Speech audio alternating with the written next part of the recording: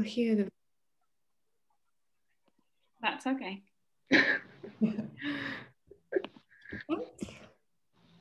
and apparently Estelle is in uh, the waiting room. Okay. okay. Should we let people in? Yeah, yeah, yeah. Hi, Estelle. We're going to let people in. Hello. Jan, I've just, I've just sent you the. Good. Okay. Great. Because I think Diane is going to say a few words before you speak, Ariane. Yeah. Yeah. Yeah. yeah. Okay. Great.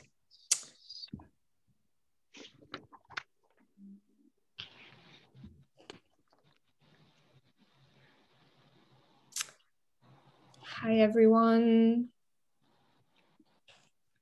We're going to wait for two more minutes for everyone to arrive, but welcome to this session.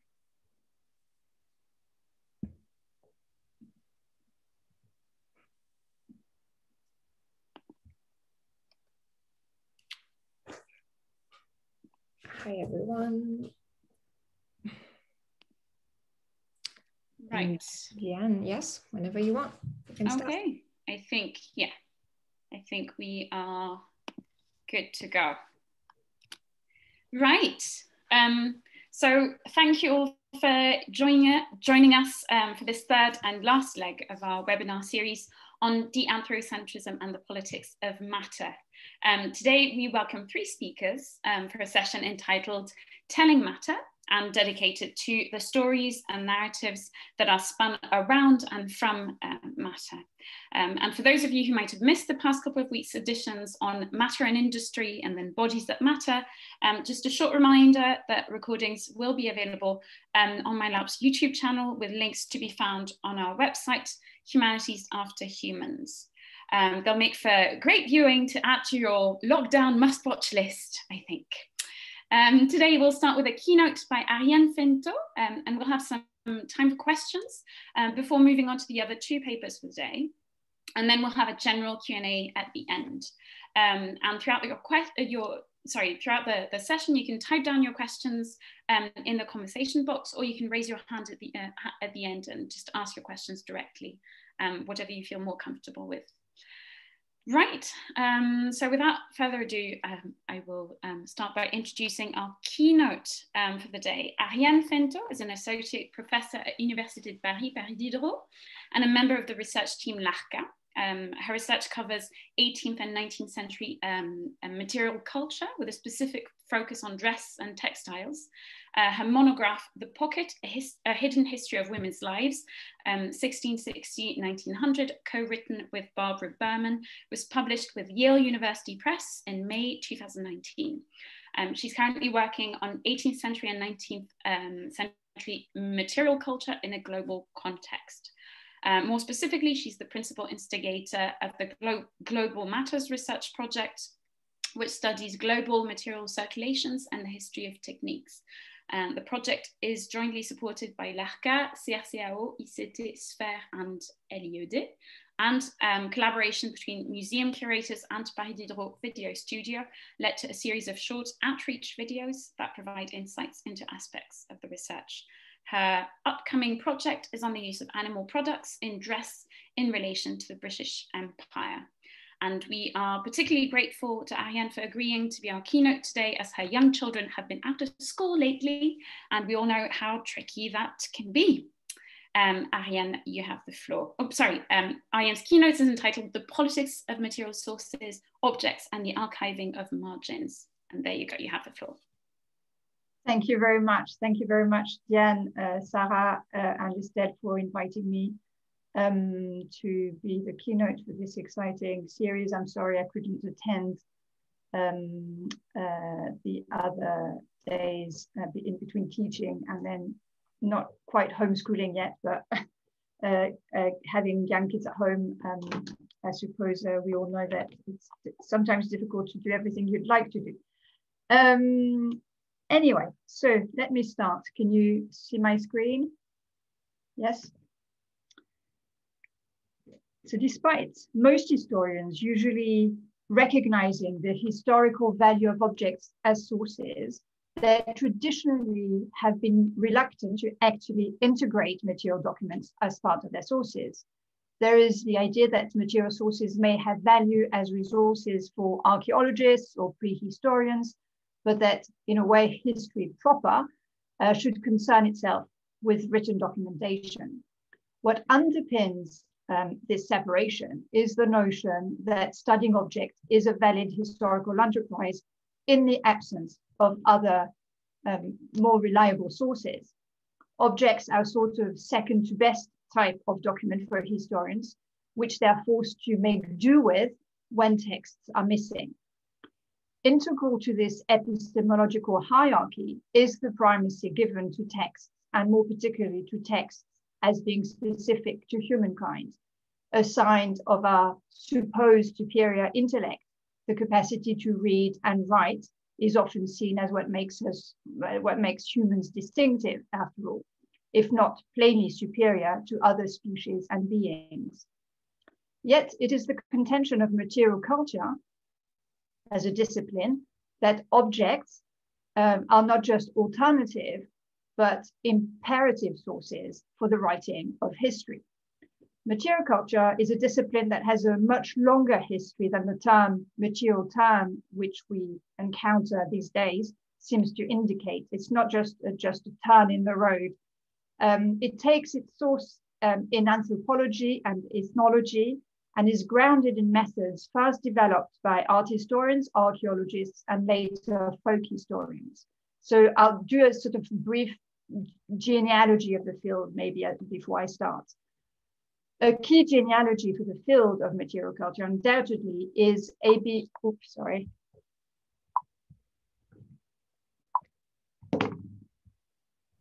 The, yeah, there are arrows, I think, at the bottom.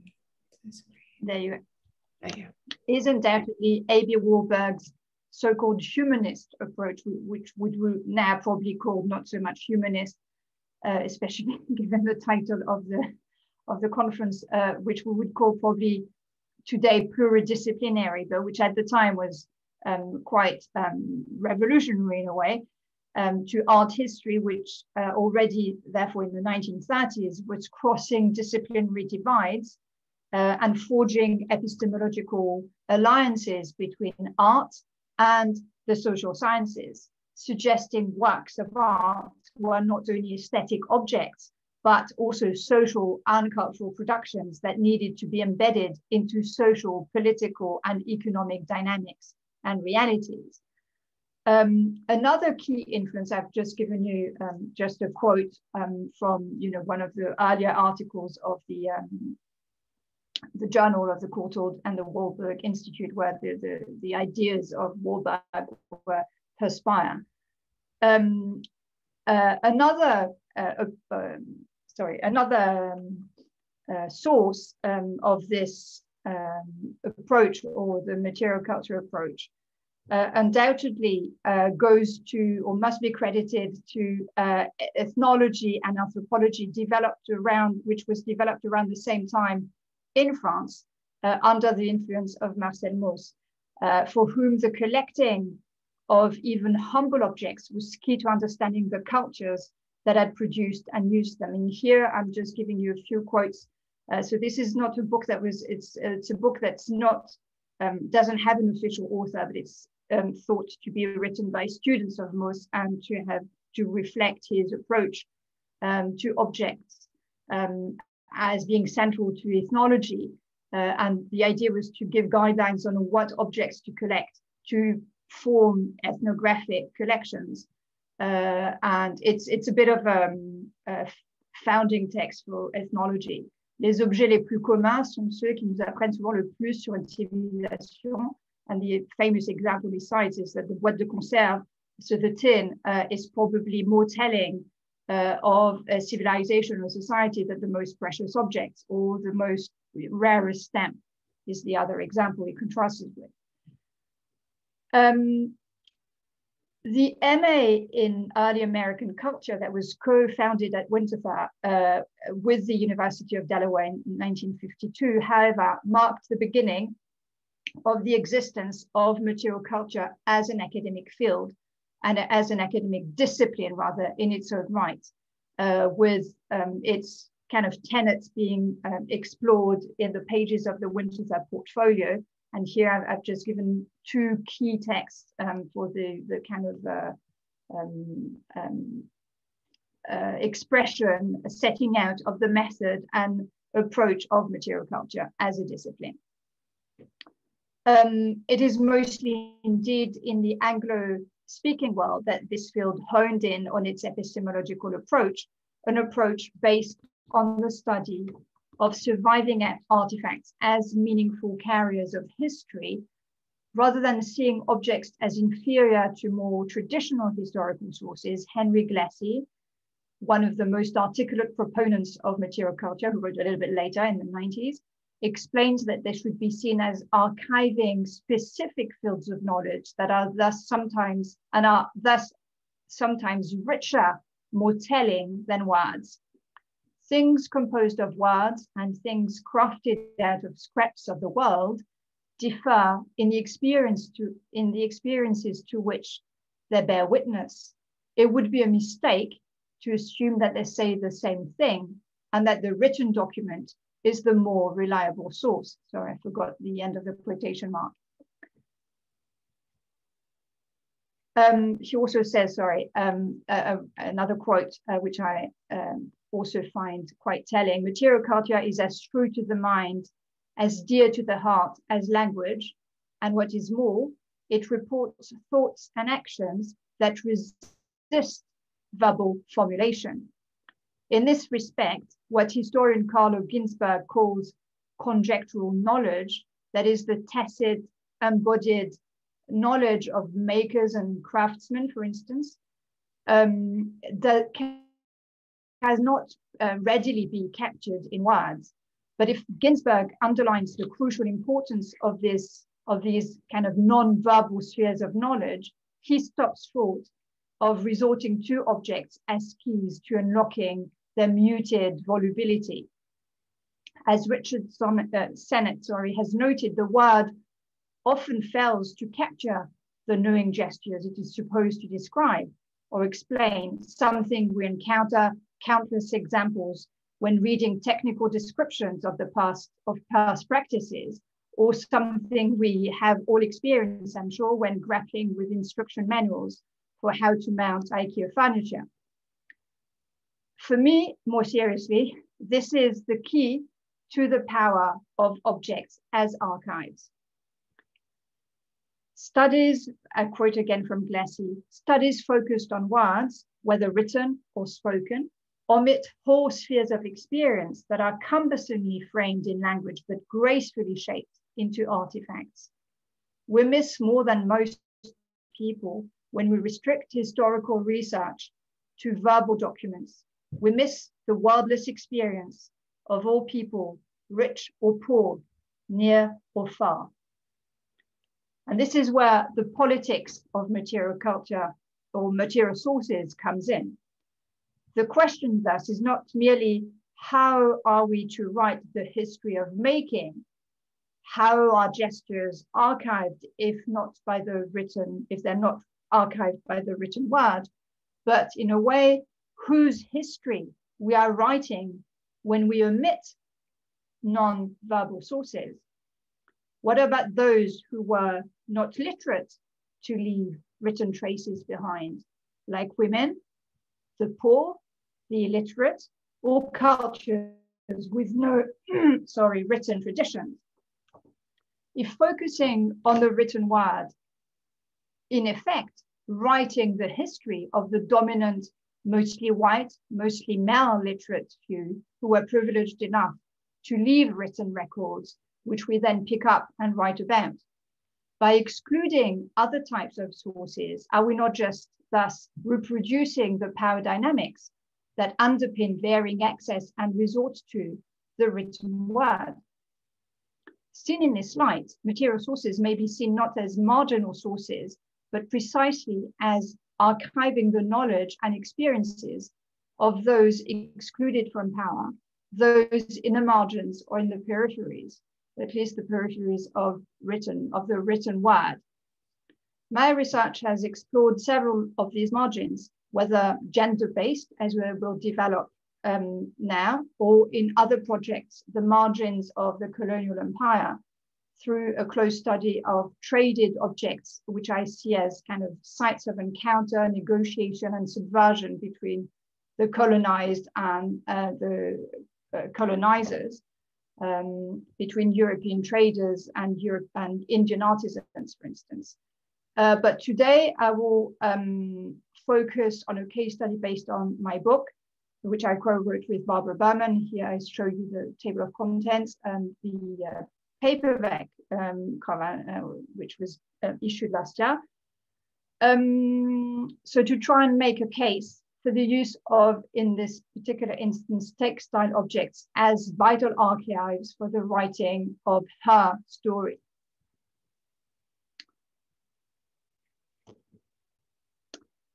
In a seminal article entitled Of Pens and Needles, historian Laurel Thatcher Ulrich underlines the gender bias of the traditional archive. She writes, I soon learned that researching women's lives meant sifting through hundreds of pages of court records, sermons, diaries, family letters, and account books, almost literally looking for needles, that is, the evidence of women's lives, in haystacks of male prose. To write the history of women's experience, she instead turns to women's non-verbal productions in the shape of their needlework. Because far more women were accustomed to using needles than pens, uh, textiles may offer the richest unexplored body of information in early American women's history. Women's stitchery, both plain and fancy, offers ways of examining class division, sorry, class divisions, education, technology and commerce, family relations, attitudes towards the body, work and leisure, marriage and death.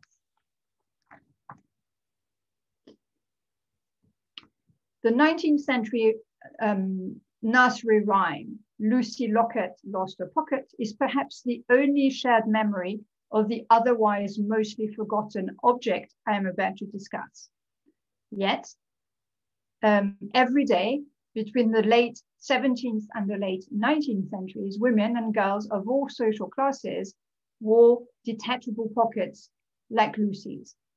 They tied them around their waist, independently of their clothing, reached them through openings in the petticoat in their petticoats and dresses, and put them on and off at will. Pockets may, may seem obscure now, but when resorted or restored, sorry, to our attention, they open up a rich nexus of historical questions, ranging from women's domesticity and work to agency, from possession to financial independence, and from consumer practices to privacy. Far from being insignificant, they actually offer, offer sorry, a disconcertingly fruitful insight into women's lives and experiences of the past and bring an important contribution, we feel, to understanding of women's relationship to possession, consumption, mobility, work, sociability, or privacy in the 200 years in which they were in use. In his milestone book, In Small Things Forgotten, uh, James Deetz draws attention to the wealth of information and meaning contained in small things for the historian. It is terribly important that the small things forgotten be remembered, for in the seemingly little and insignificant things that accumulate to create a lifetime, the essence of our existence is captured. We must remember these bits and pieces, and we must use them in new and imaginative ways so that a different appreciation for what life is today and was in the past can be achieved. The written document has its proper and important place, but there is also a time when we should set aside a perusal of diaries, court records, and inventories and listen to another voice. Deetz makes a double call to remember and study small things and to use them as sources for historical inquiry. Our contention in the book is that objects matter to the writing of history, as you would have understood by now uh, and that they specifically matter if you intend to delve into women's past at a time when traditional literacy was a male rather than a female preserve, when only a minority of women could read and write, but all wore a pocket and all, whether there be a duchess, an innkeeper, a potato seller, or prostitute, could more or less aptly hold and use a needle, objects themselves carry key epistemological and political clout as tools to excavate the lives and experiences of past women of all walks of life and origin, and not just the literate one. Um, our other contention is that a small thing and a small marginal thing uh, can open up big historical questions. Pockets are seemingly inconse inconsequential and trifle on various counts. They are utilitarian, they're everyday, they're commonplace, they're textile, they're female. So they score pretty low uh, in the hierarchy of, of noble and important historical topics. Yet we argue that pockets are worth studying not just despite their smallness and apparent marginality, but precisely because of their smallness and liminal status. There is a specific heuristic power of smallness and marginality, we argue. By refocusing or by fast forcing the gaze to refocus, it recalibrates and decenters our vision, asks different questions, and hopefully gives more complicated answers.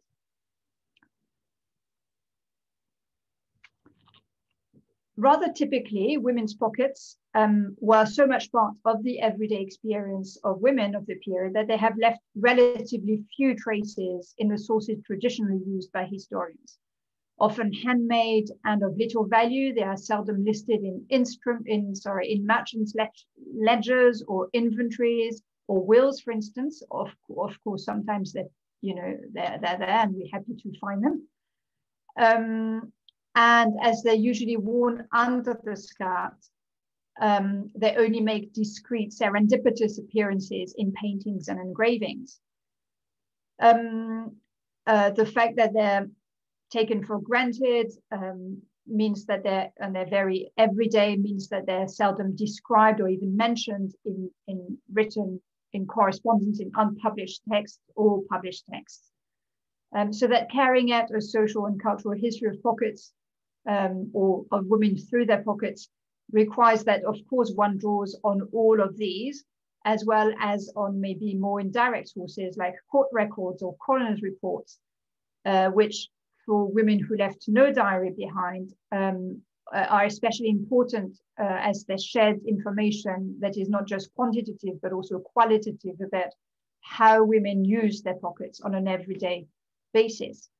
Whilst the study of over 390 extant pockets uh, we studied in about 30 UK collections, both private and public, form um, an irreplaceable body of evidence whose testimony the book foregrounds. And here I'm just giving you some examples of, of the survey.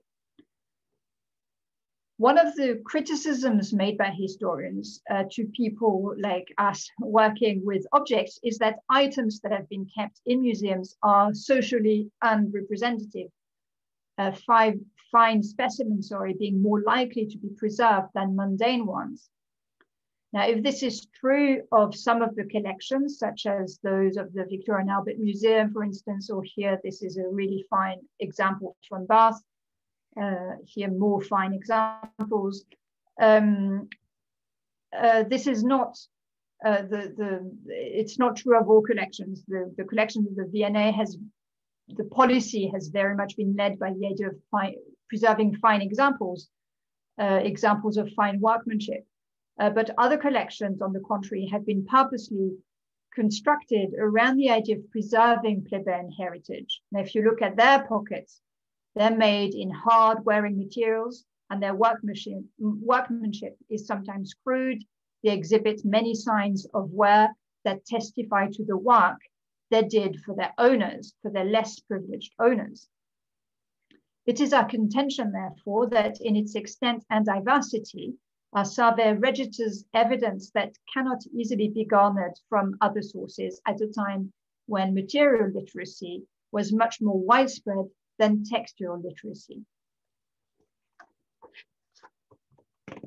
The first lesson, if I may say so, learned from uh, material archive is has to do with the chronology of our object, um, which unlike what fashion historians had thought, um, did not disappear uh, at the end of the 18th century uh, and did not or was not replaced by reticules uh, when uh, in circa 1800 um, when women started wearing high-waisted gowns and the reticule kind of made its appearance in the fashion press. Now, this narrative, which if you don't really know much about uh, dress history, you might not have been, been aware that I'm kind of doing a revisionist history of the pocket here, but I'll, I'll explain why I'm still drawing your attention to that in a minute. So this narrative had derived in a way um, from looking exclusively at print-based sources such as fashion prints and newspaper articles in the female press at the time, which indeed pitted the old-fashioned pockets against the new modern reticule. Yet, as evidenced by many dated examples in our survey, as well as by some pockets using um, easily datable technologies such as metal fastening or um, machine stitching, um, we see that these were premature obituaries for the pocket, which in reality adapted and continued being worn well into the 19th century, actually to the very end of the 19th century, and in some um, modified form, even in the 20th century, beginning of the 20th century.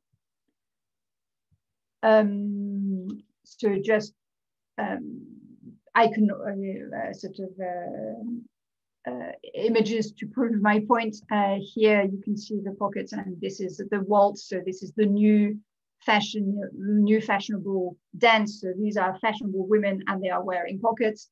Uh, and obviously we have material sources um, that show that the pocket actually adapted to these um, masculine dresses rather than was disappeared or displaced by the reticule.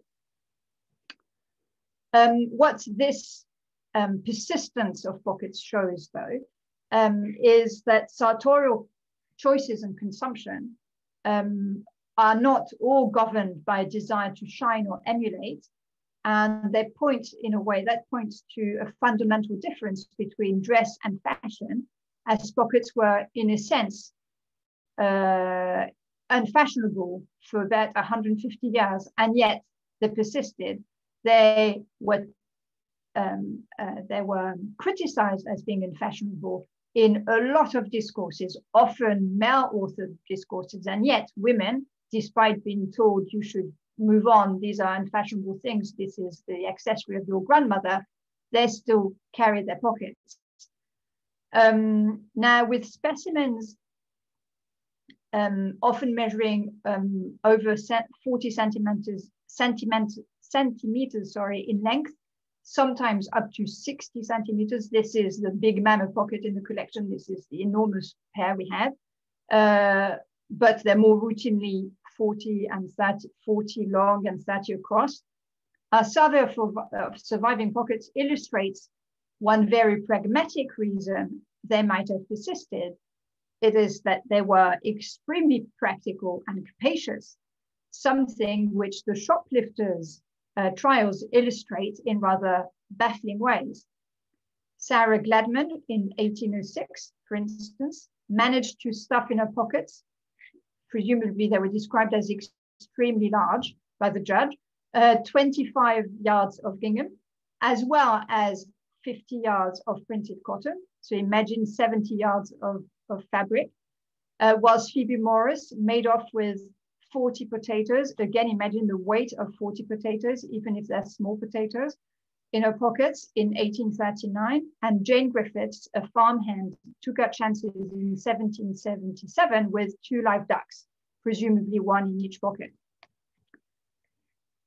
Capaciousness didn't um, just serve criminals, uh, when a lady was attacked on Barnes Commons in London in 17, her pockets contained, among other things, we are told by the ad, a small tortoiseshell snuff box, a London almanac in a black shagreen case, an ivory carved toothpick case, a silver sliding pencil, a white cornelian seal, uh, a tortoiseshell comb in a case, a silver thimble and bodkin, a bunch of keys, a red leather pocketbook, a green knit purse containing half a guinea, a crown piece of William Mary, and about five shillings with two glass smelling bottles the raw call of nearly 15 objects, uh, a lot of them made of metal or heavy materials, all carried in the pocket by the well-to-do woman, illustrates the host of pocket-sized accessories which the consumer society produced specifically for the pocket. In an age of um, expanding consumption, the small space of the pocket was indeed the focus of an ever encroaching marketplace that produced innumerable pocket accessories enabling to carry and keep at hand the wherewithal of polite sociability in miniature form.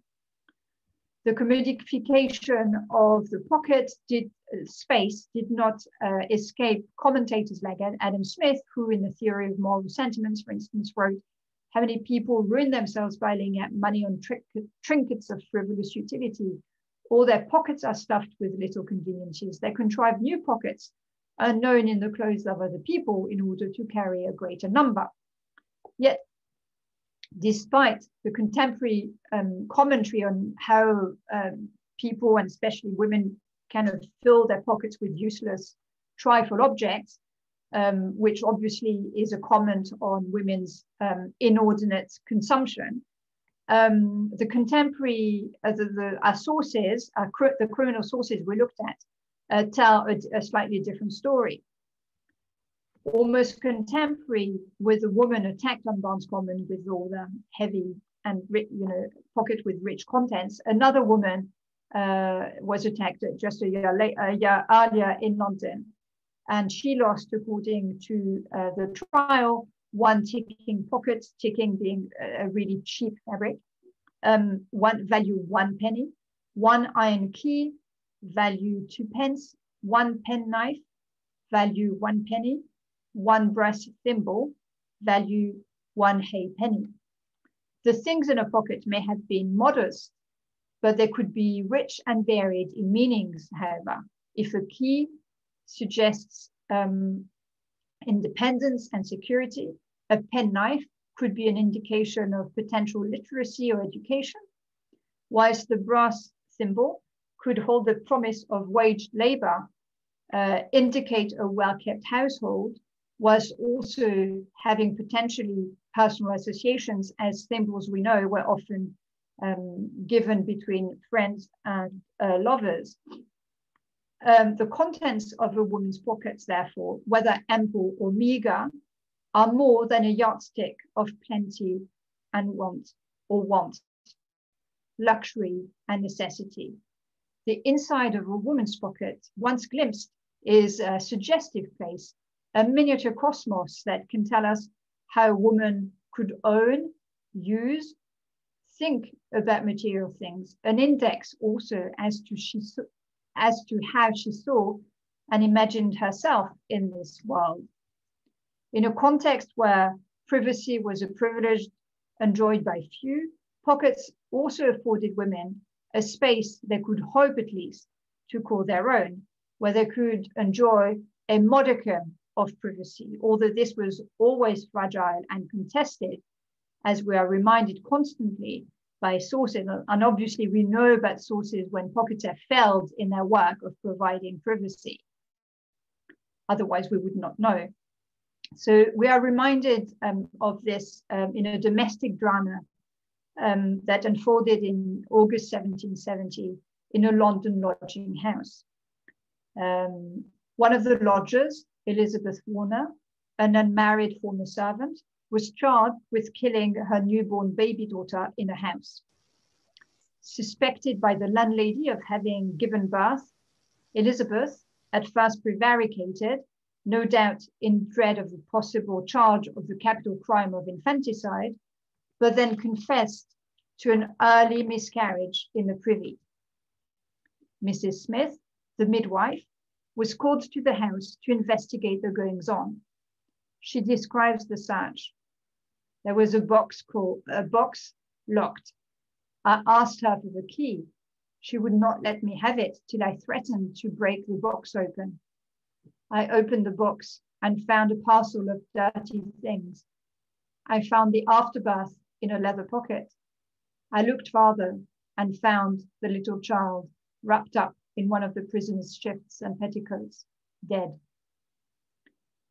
Elizabeth's sad tale of loss and fear manifests how it was to her leather pocket that Elizabeth entrusted her safety and privacy when, in extremis, she bundled, she bundled into it the evidence from her own body. The role of pockets as guardians of women's desires, hopes, and secrets is repeatedly illustrated in sources, but as objects, I mean written sources, but as objects, pocket themselves materialize protection with their womb-like shape and their inner compartments that uh, provide um, sometimes private pockets which structure the contents of the pockets. So you often have pockets within pockets.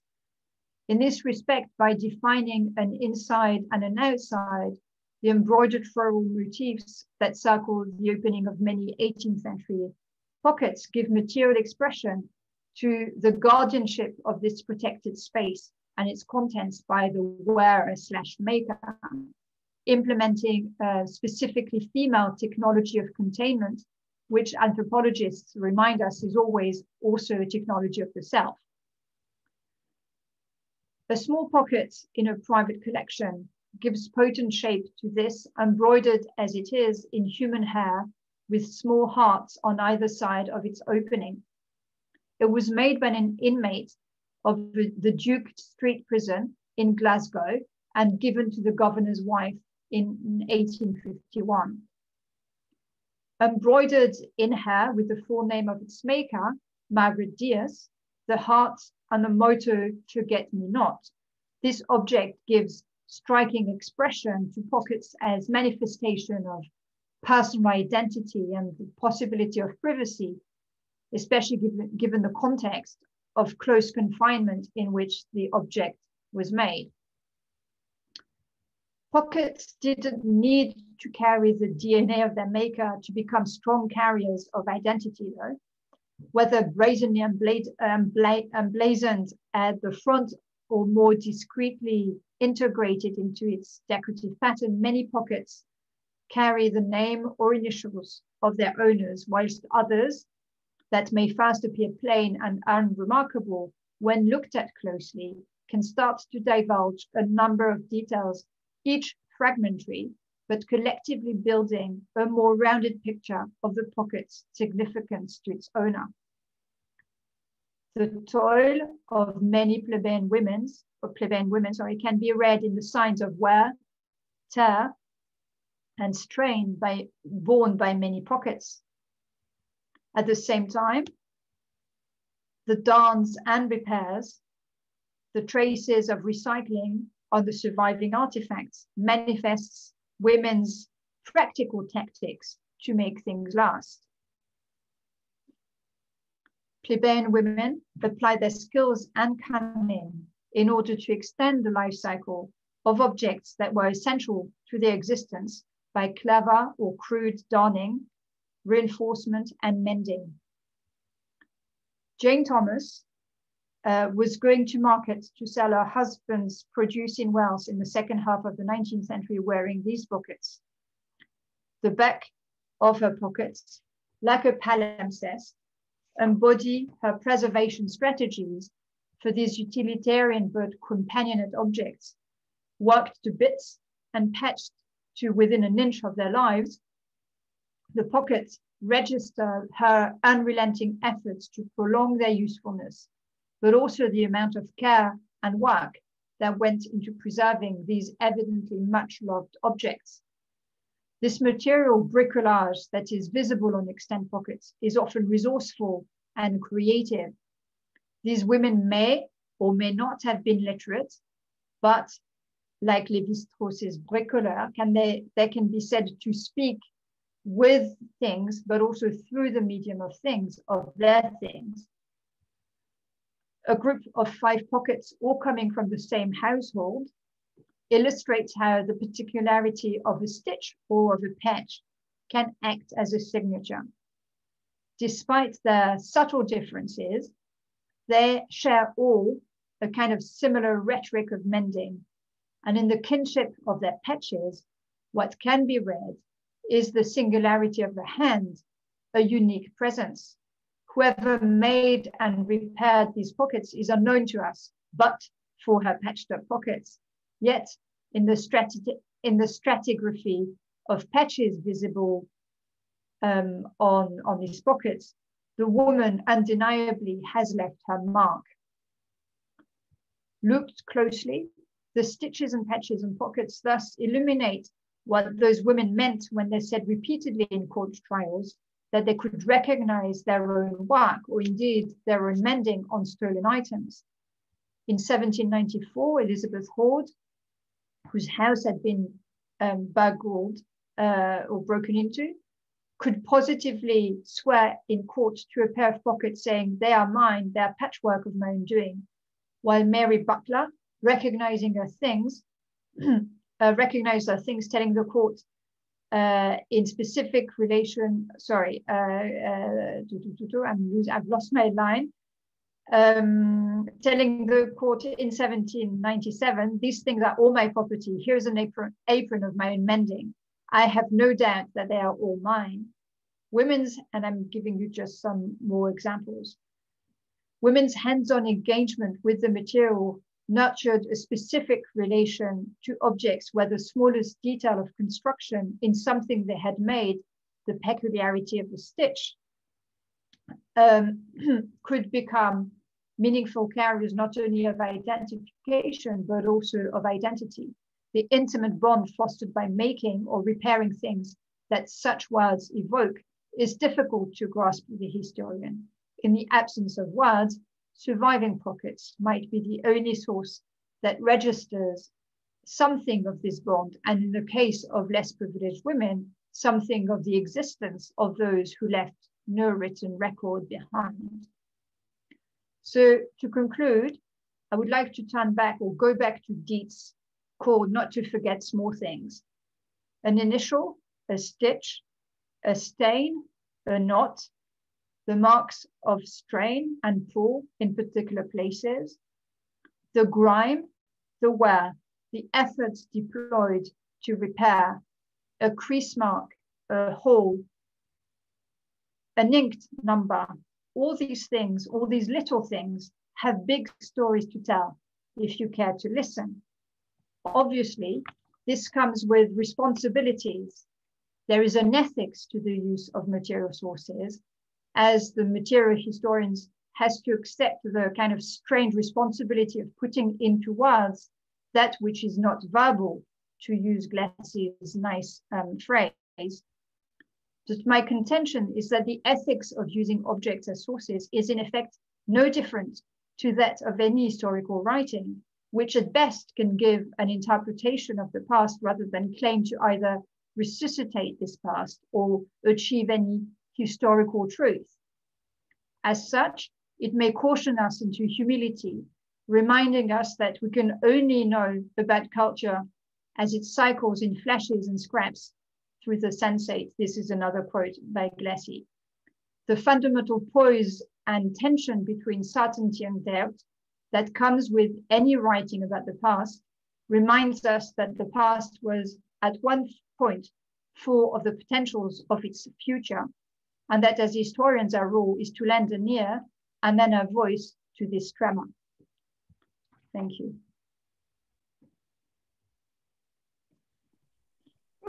Sorry.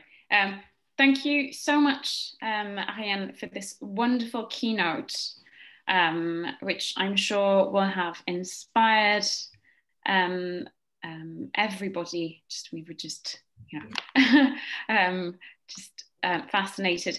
Um, do we have questions for a quick um, question session now? Do we have any questions? do not hesitate to raise your hands. If not, I actually have a question, but I, I don't want to. Um, sorry, um, so um, I actually, I, I wanted to ask a question that sort of, um, that addresses what you said, but also ties in with um, your upcoming project on animal products and the and the Indian Empire, um, because that um, the mention of it echoed um, um, Kirsty Sinclair's keynote from two weeks ago, um, in which she she had a whole part dedicated to Indian yellow um, and that, that you know the use of that dye yes i think you you, you need to get in touch yeah.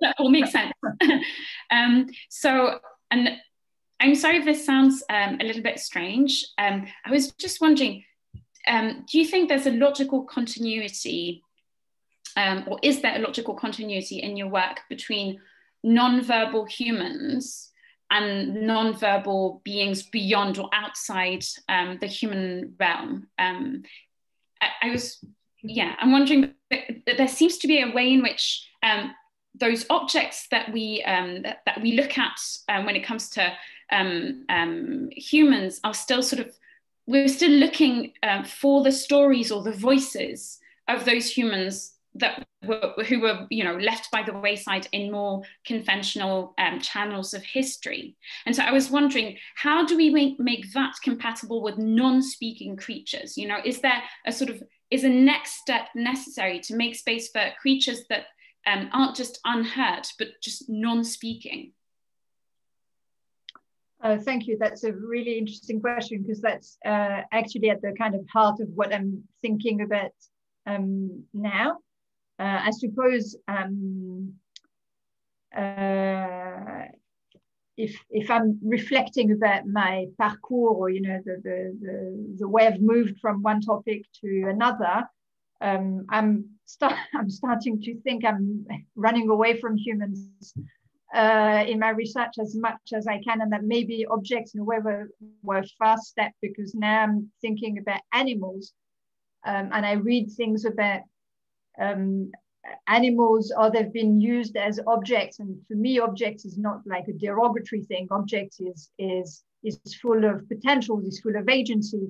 And uh, in the in the um, uh, literature on animal studies, it's interesting because in a way you kind of find the same um, discourse uh, about, oh, can you you know um, what can you know? They can't speak. So the objects are mute. You know this is what people say. You've got you know you're putting words into your evidence because they can't say anything. And in a way the animals are the same. But it is true that with objects they are artifacts. So they are made uh, i mean i guess there's a whole question about what is an object um, and the, the difference between an object and a thing and whether anything is not an object as uh, and usually the difference is an object is made by man and a thing is made by nature. But as we know uh, the anthropocene means that there's nothing much that is untouched by human presence. So uh, you know even a rock uh, is um, some anthropologists argue uh, even if it hasn't been cut is still you know part of that web of um, things that human presence impacts on. Um, but I, I, do find that I am moving more towards the non-human in a way. Um, I don't know what, what that means, but it, it is part of the questions I'm asking myself, definitely. And I think it, there's fascinating links between objects and animals uh, in relation to where they stand in relation to humans. And one of the things that, one of the criticisms that was aimed at, at the book, um, which came from a literary scholar, uh, was that, um, you know, we were kind of put in the same bag, if I may say, as um, sort of you know, easy or, you know, that new trend in material culture. Um, and you know being obsessed with objects means that you're not interested in human beings when uh, precisely in the in the book uh, we look at objects as they tell us about because they tell us about human interactions um, i don't know whether that precisely answers your question, but it's definitely part of my uh, questions at the moment. Yeah, yeah, I think that, and that really echoes uh, so many of the the questions that we've been asking ourselves. I think that's that's perfect. Thank you, um, Jean Michel. You had a question. Yes, thank you, Diane. Uh, thanks a lot for the beautiful, very stimulating presentation, really. Um, uh, there, there, are many echoes. Uh, it's very useful for uh, not only historians, but also literary scholars, uh, I'm sure, because uh, we've been working a lot on many things like the humble, for example, here in Montpellier. and, um, and of course, okay, there, there are many contemporary authors who resurrect, okay, things like um, uh, 18th century narratives, okay, which like, uh, um, well, about objects, okay, and, um, and so forth, which you're very familiar. Um, uh, um, yes, you, you, you, take it, but um, you, you take the female object, the paraphernalia, okay, as your uh, study, your, your main interest. What I find striking is that in uh, contemporary production, there are many uh, male novelists who go back to this idea of uh, uh the ordinary object. Okay, uh, for example, uh, Jon McGregor in his second novel, okay, uses this um, topos really and and builds writes a novel, okay, around um, as a collector around items which are very humble items, okay, from which he unravels a story, okay, using their potential and their materiality really. So that's the first point. But more generally, what I uh, very much enjoyed in when listening to you was this idea of uh, what you come up with at the end. The things are visible if or audible if we care to listen to them, and from there you jump to this idea of ethics. Okay, and um, uh, I find that with a corpus such as yours, okay, this idea of uh, an ethics of uh, attention uh, is um, brought about okay by the, the, type of corpus you're having a look at. So um, this made me think of uh, what the people working with ordinary language philosophy uh, are trying to, uh, to, to put together. That is this idea that uh, it is in uh, what you have a look at, okay, that you find what matters, uh, as opposed to the big abstract principles uh, that you could find in uh, rule books or whatever. And um, uh, in this way, okay, I, I, see, of course, the way you twitch an ethics, okay, of attention to what is invisible, but also also to what is visible okay in uh, foucault's terms this time okay uh, is right the heart of your project w would you uh, agree with this well, uh, there's quite a few references I'm not aware of, so uh, yeah. I'd be very grateful. For instance, the Jon McGregor uh, novel. I, uh, so I'd be um, really interested in that. Um, well, I think obviously the question of ethics is, should be or is central to every field uh, and should be at the center of any research. Uh, I think uh, working with objects, you kind of have to be more probably uh, guarded because you're often criticized. Um, uh, uh, uh less so now, maybe, but still. Um, so you kind of have to build in a defense uh, in your argument about um, why you can do what you do or why uh, what you should do is legitimate. Um, um, I guess it's um, it comes in a way with the territory of of right on writing or working on, as you said, humble, uh, less um, established uh, fields or objects within that field, because then you have um, objects that are more uh, noble in a way. You know, um, it's okay to uh, it's it's it's more acceptable to work on uh, porcelain and uh, fine workmanship on ebenisterie goods, but maybe not so on something that is grimy, smells, uh, that is kept in museums because it, does imbibe the sweat and the smell and it's dirty you know it, it is dirty but in a way it's because it's dirty that it's interesting uh, from my perspective.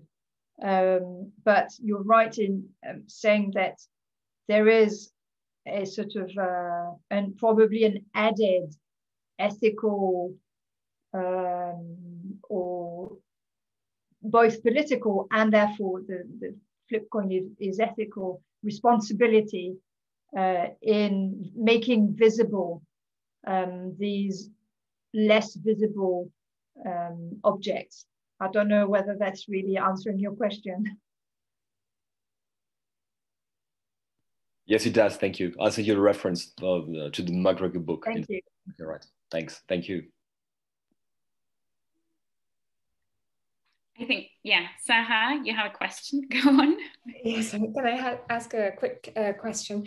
So it, it, I'm going to start with a kind of uh, platitude, which is the fact that today men don't have to carry anything because women carry purses, handbags, and you know if a, a, man, I don't know, cuts himself in the street, there will be all sorts of women pulling out tissues and napkins out of their handbags. So I was wondering, you gave us quite comprehensive lists of the different items in these pockets, but I was wondering if they were items that you recognized as being, I don't know, um, yeah, for, I don't know, um, directed uh, to, not to men, but for the for the household, you know, that were mm-hmm. not only for women, but for maybe you said it, but uh, I wanted to know if you um, were thinking about that also. Yeah, no, I didn't. I didn't mention that, uh, but you're right to say that um, in the talk I, I uh, talked more about the pocket as a personal space, but it um, it was both a personal and a shared space. Um, so it was a space uh, for the household. It was a space for, uh, in a way, the multiplicity of women's roles.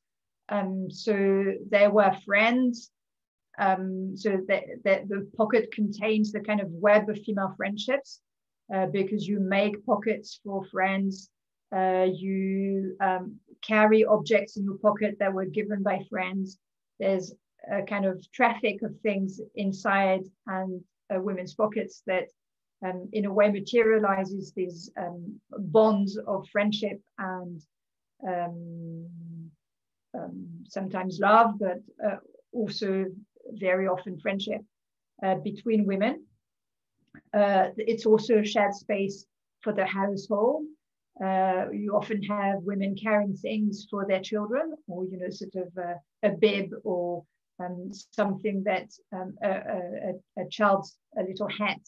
Um, so other, ex, you know, other accessories that are kept in the pocket if you need it uh, ha the handkerchief, for instance, or which uh, in the 18th century was very much a, not so much something to blow your nose, but like a scarf, you know, a neckerchief. Um, that's also often in pockets, and pockets also acted as a communal pass uh, for the man and, and husband, uh, the husband and wife, sorry, uh, the man and woman. Uh, sometimes, I guess people didn't have deposit banks, um, and the pocket was often the, the next best thing because it could easily be stored under the head, uh, under the pillow when you uh, slept. So um, because you didn't really have locked furniture, you lived in shared accommodation where you couldn't really secure your belongings. That was as close as it could be kept and therefore as secure as it was thought to be. But obviously, we know of these stories when they have failed um, but they were still trusted, at least hoped to be um, the best option um, for safeguarding um, um, often shared property. And obviously, for most of the century we studied, a lot of the things that are in women's pockets are not legally women's. They are because of women not having no recognized um, title to entitlement to uh, property, but obviously these small possessions are still, although in the eyes of the law, when they go to court, um, they, they, are thought to be the husband's. They're legally, it's, it's stolen off the husband from the body of the wife, kind of thing. Um, but it's still recognized in the discourse that you hear as still theirs. So there's a, an interesting conflation about possession, uh, which is not legally women's, but still kind of informally recognized as being theirs. And they are uh, thought to have um, suffered the prejudice of, of, the, of the theft, although the possession of it is, you know, and the money at the beginning, you have an indictment with how much, what the goods were stolen and how much they're worth. That is the property of the husband when they're married. Um, so, but you still have both. It's very much a sort of laboratory for uh, ownership in a way. What's ownership? What's possession? The difference between ownership and possession. Thank you. Thank you. And, and you did have sticky plasters also. um, I think this um, will sort of um, um, make an echo um, echo uh, what um, what we've been um, saying. There's a question in the conversation box from a person who cannot use their mic. The question reads, I, so the pocket seems to have a radical potential and potency, a hidden article or a second room. I'd like to know if you have researched into their use in witchcraft. Is it also known whether the pocket was seen as sacred? Um, um, so, you know, not to, in other words, not to be touched by men. Um, and the person would also like to know if they were used by those of fluid gender. Um, okay, so about witchcraft. Uh, um, so um, about radicalism before witchcraft, radicalism. Uh, it's it, it's interesting that pockets were not. We haven't seen pockets that carry sort of seditious messages. Um, the way, for instance, uh, you know, in the 18th century with the Jacobite um, sort of rebellion, people being pro-Jacobite or uh, believe in the Glorious Revolution, you have other objects of material culture that kind of carry, say, Jacobite messages. Um, so uh, pockets that have survived, at least um, do not um, show us that although there may be messages that we cannot decipher, you know, you, but the, the, there's no pocket with a political message on it that we have found. Um, later, uh, when suffragettes, um, you know, want to get the vote, um, there's um, famous examples of, of uh, suffragettes carrying fire bombs uh, in their pockets, so they have that potential um, about witchcraft. Um, so there are documented examples that we um, discuss in the book um, of pockets being um, used in beneficial magic um, rituals, uh, and in particular of pockets being uh, enclosed in within walls on purpose, so like deliberately concealed garments um, which you know pockets were not the only type of garment. You also uh, immured um, shrews, for instance. There are examples of stays that have been um, found inside walls. Uh, often they're placed outside or above windows, chimneys, or doors, so like um, areas of opening of the house um, as a kind of ritual of protection, which is thought to be a ritual of protection to kind of guard off, ward off evil uh, entries into the house where, you know, impenetrable areas of the house. And in the two cases that we have found there, in um, we haven't found them in the walls. Uh, archaeologists have found them, but we um, sort of an- analyzed these findings um, there in Oxfordshire. Um, and in both cases, there's a baby's cap inside the pocket. And in both cases, the pockets were uh, used. They're not new pockets, they're pockets that had been used, um, sometimes that are broken and repaired, um, but are still functional. They could function as pockets, they're not past their use. Uh, and in the most um, interesting one, because it's got the most objects, uh, there's a baby's cap, uh, money, letters, which obviously, uh, unfortunately, we can't read anymore, but there's different papers. Um, and it seems like the objects all date from different time periods across um, about um, 200 years. So there's a kind of cumulative history that is interred in the walls. And obviously these finds are really suggestive, but uh, we cannot be sure exactly what um, you know the rationale of, of putting these objects together in that pocket and then interring that pocket in the wall actually meant what was um, never verbalized even at the time you know why would you put this coin and not that coin? And uh, is obviously at best oral history at best um, but that they, they, did play a part in those in in those um, uh, rituals of beneficial magic. Witchcraft we don't we haven't got we haven't come across it. And was there any another uh, part of the question? I can't remember. Ah yeah uh, fluid. Um, so um, the uh, we have uh, examples of pockets being worn by men who cross-dressed, if that's what you had in mind. Um, and often, um, but so the actual acts of cross-dressing, men adopting the dress of women, and as part of this adoption is also adopting the pockets. And uh, what's interesting about these cases is that when they're um, reported in the press, often it's uh, like a scandalous story.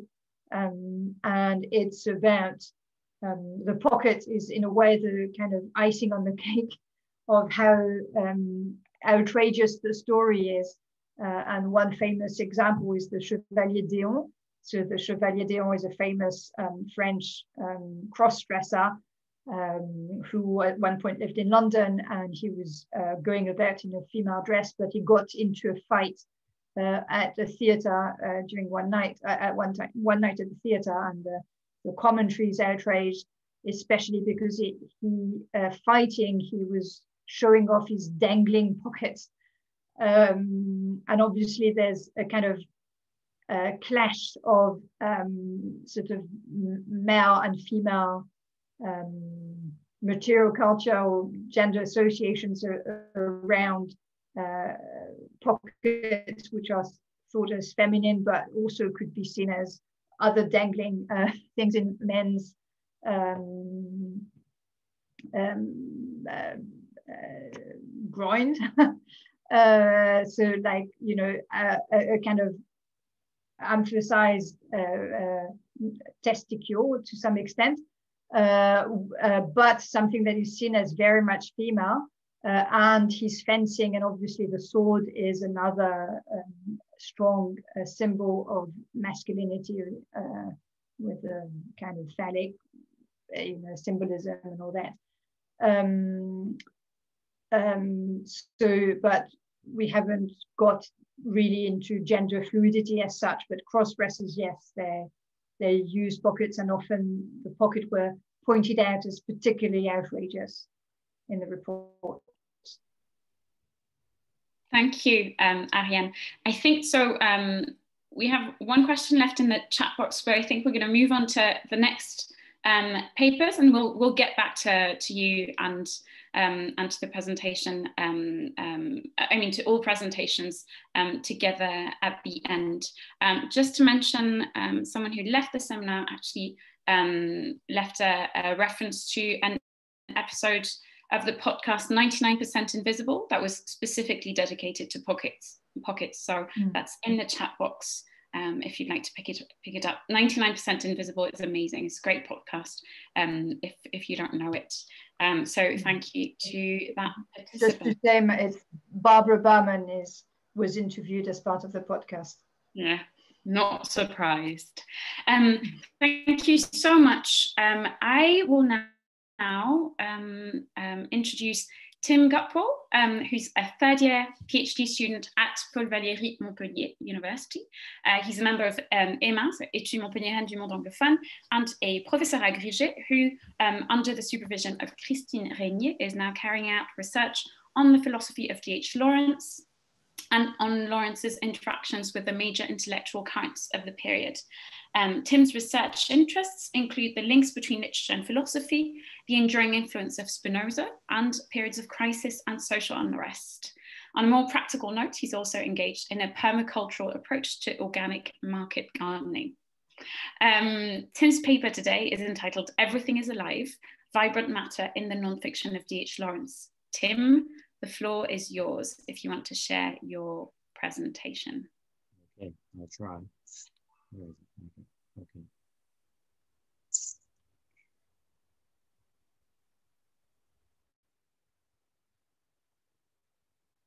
That should be all right. Okay. Can you see? Hope so. All right. Um, well, thank you. Uh, thanks very much for inviting me. Thanks to Ariane. I think um, I'm going to, I think Lawrence would have agreed that small things matter. And uh, it was interesting because um, one thing that Lawrence thinks is that objects are suffused with the vibrations of the people that wear them. And uh, we'll see that he mentions his boots, but I'm sure that pockets would have been the same, uh, same principle.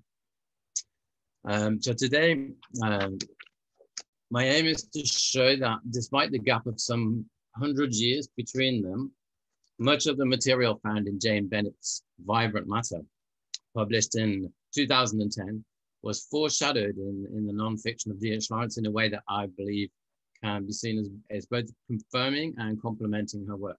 And in fact, I think, I suppose it might be more accurate to view it as a kind of dialogue across the ages.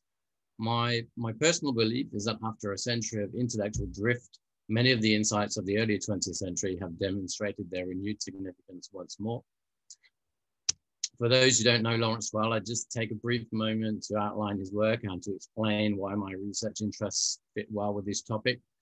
Um, Lawrence is best known as a novelist or a poet, um, but he was a multifaceted writer. Uh, he was an artist. I think the, the painting that you, you saw before was, was, was painted by, by Lawrence. Uh, and he excelled in all genres of uh, writing. My thesis focuses on his nonfiction, which includes collections of essays, uh, notably, uh, as you can see on the screen, reflections on the death of a porcupine, um, and some other um, uh, literature, essays on literature, essays on psychology, and travel writing mainly. Um, Lawrence actually had a lifelong interest in philosophy, uh, but his only completed overtly physical philosophical work was uh, at, which was called At the Gates is probably falsely said to have been used as toilet paper by a victim of Lawrence's tendencies to base the characters of his novels on real life figures. Nonetheless, it's possible to reconstruct his philosophy from the writings that are still extant, and as I hope to show, his thinking remains relevant today. Oh, oh we're not there yet.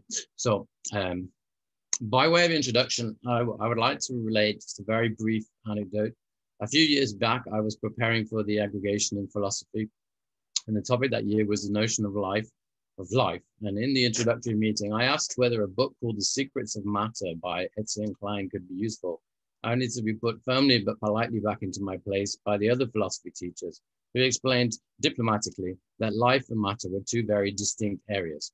Yet to this day, I have found, I, I have found and I find the distinction drawn between life and matter to be an artificial one and the kind of abstraction Lawrence would have hated. Unsurprisingly then, I was sympathetic to the underlying hypothesis of Jane Bennett's vibrant matter that the division into organic and inorganic is at best a false one. Uh, excuse me, sorry. Is at best a false one. And at worst responsible for many of the problems facing our contemporary society. Lawrence would also have been sympathetic to her contention that things have agency, as I intend to show. I've probably already done a disservice to both Bennett and Lawrence by mentioning the word thing, thing, as if there really were things, as if things existed in a vacuum. Uh, but it's difficult to do otherwise due to the limitations of language. And I'll come back to this later. Bennett wishes to co combat the image of matter as passive or inert, since for her, it's this kind of reasoning that has led to our modern day dynamic of conquest, domination, and hubris. This is a position Lawrence would have agreed with, as he made particularly clear in two of his travel books, Sketches of Etruscan Places and Mornings of Mexico. In the former, he contrasts the Etruscan civilization with the Romans. In the latter, he contrasts the American Indians with the more recent Western settlers. In both cases, it's the latest arrivals who are found wanting. For example, Lawrence argues that the attitude towards the cosmos changed with the arrival of the Romans and the Greeks. Whereas the, the Etruscans had lived in a healthy harmony with the universe, the Greeks, and especially the Romans, wished to instru instrumentalize matter to dominate it. Lawrence writes, uh, you can see it on the screen, that the old religion of the profound attempt of man to harmonize himself with nature and hold his own and come into flower into in the great seething of life changed with the Greeks and the Romans into a desire to resist nature, to produce a mental cunning and a mechanical force that would outwit nature and chain her down completely, till at least there should be nothing free in nature at all. All should be controlled, domesticated, put to man's meaner uses. Curiously enough, with the idea of the triumph over nature arose the idea of a gloomy Hades, a hell, and a purgatory. Um, similarly, in the series of travel sketches, Twilight in Italy, Lawrence describes a hotel owner who, uh, who wanted to know the joy of man, who has got the earth in his grip, bound it up with railways, burrowed it with iron fingers, subdued it. Lawrence and Bennett then both forged a link between our attitude to the material world and our will to dominate. To get beyond human hubris, we need to change our attitude towards things. Um, it is for this reason that in Vibrant Matter, Bennett aims to develop a concept of a thing as something active, possessed with a measure of agency of its own. She uses the term thing power. Hence, Bennett contends that the best way to conceive of things is to conceive of them as quivering, evanescent, vibrating. It is in this manner that we can correctly perceive things as dynamic with an agency of their own. Like Bennett, Lawrence views objects as characterized by vibrations. In Fantasia of the Unconscious, he writes the following rather startling passage, which shows that for him, we are constantly in connection with our surroundings, and that this connection is physically or psychically characterized by very real forces. Um, this is where you will see the reference to the, to the boots I mentioned. Between between an individual and any external object with which he has an effective connection, there exists a definite vital flow. Whether this object be human or animal or plant or quite inanimate, there is still a circuit. My dog, my canary, has a polarized connection with me. Nay, the very cells in the ash tree I loved as a child had a dynamic vibratory connection with the nuclei in my own centers of primary consciousness. And further still, the boots I have worn are so saturated with my own magnetism, my own vital activity, that if anyone else wears them, I feel it as a trespass. So there is a definite vibratory rapport between a man and his surroundings once he definitely gets into contact with these surroundings. In other words, for Lawrence, everything is characterized by movement, whether it be trees, books, houses, or living creatures. And everything is in relation with everything else, as we will see we may well conceive of objects as stable and permanent, but as Bergson had already pointed out at the beginning of the 20th century, this is due to our human nature or hardwiring, as we might say nowadays. We are primarily action-oriented creatures. Paradoxically, as Bergson remarks in The Creative Evolution, though change is actually the most permanent feature of our world, we scarcely notice it. As a result, it would then be more accurate to that, that what we call things are not actually things, but events, albeit events that we conceptualize as, as static. Hence, as Lawrence explained, as Lawrence explains, our view of the world is merely relative. What we see is fully determined by our perspective as humans. For example, Lawrence writes the following statement about movement, in which he manifestly is alluding to Einstein's theory of relativity, when I am in a moving train, strictly the land moves under me. I and the train are still. If I were both land and train, if I were large enough, there would be no motion. And if I were very, very small, every fiber of the train would be in motion for me. The point of rest would be infinitely reduced. In other words, oops, in other words, oh, it is all a question of scale. If we were a million times larger, the train would seem stationary. And if we were a million times smaller, we would see that even the metal of which the train is constructed is in permanent vibration. The very table on which he writes is in movement. Bennett, on the same theme, quotes Latour There is no object, no subject, but there are events. I never act. I'm always slightly surprised by what I do. Things are always really events, even when we may not be able to perceive their dynamic nature. Replying to a query about whether the cliffs of Dover were an event, Bertrand Russell is said to have replied, yes, but a very slow one. Another similarity between the two thinkers that I would like to explore is the manner in which Bennett attempts to revisit the notion of the thing by describing the way in which there's always something elusive about the subject, she variously refers to Thoreau's concept of the wild, to De outside, or an absolute of the object, as well as to the non-identity of Adorno. By contrast, in classical physics, a mechanical model had denied any agency to matter, which was consequently entirely determined and inert. Famously, the French mathematician Laplace, uh, which I can show you, uh, estimated that if a supreme intelligence existed, commonly known as Laplace's demon, which was capable of knowing all the positions and forces of all matter at any given moment, it would be able to predict the future just as well as it knew the past. Nonetheless, as Bennett points out in chapter six, this kind of mechanical model has long been superseded and is no longer even scientific. Lawrence and many others of his time had already questioned this kind of reduction, reductionism. Bennett, of course, doesn't mention Lawrence, but Lawrence had also had already developed a sort of theory of the elusiveness of the object, about which I've already written, and which looks at the similarities between Lawrence and Spinoza. Uh, Spinoza set out uh, three types of knowledge in his Ethics, and the fifth book particularly refers to the third type of knowledge, a type of knowledge which enables us to glimpse the eternal or the absolute in particular things, which Spinoza calls intuitive science, and Lawrence would call subjective science. Deleuze uh, specifically uses Lawrence in his used Lawrence in his lectures on Spinoza to exemplify Spinoza's third type of knowledge.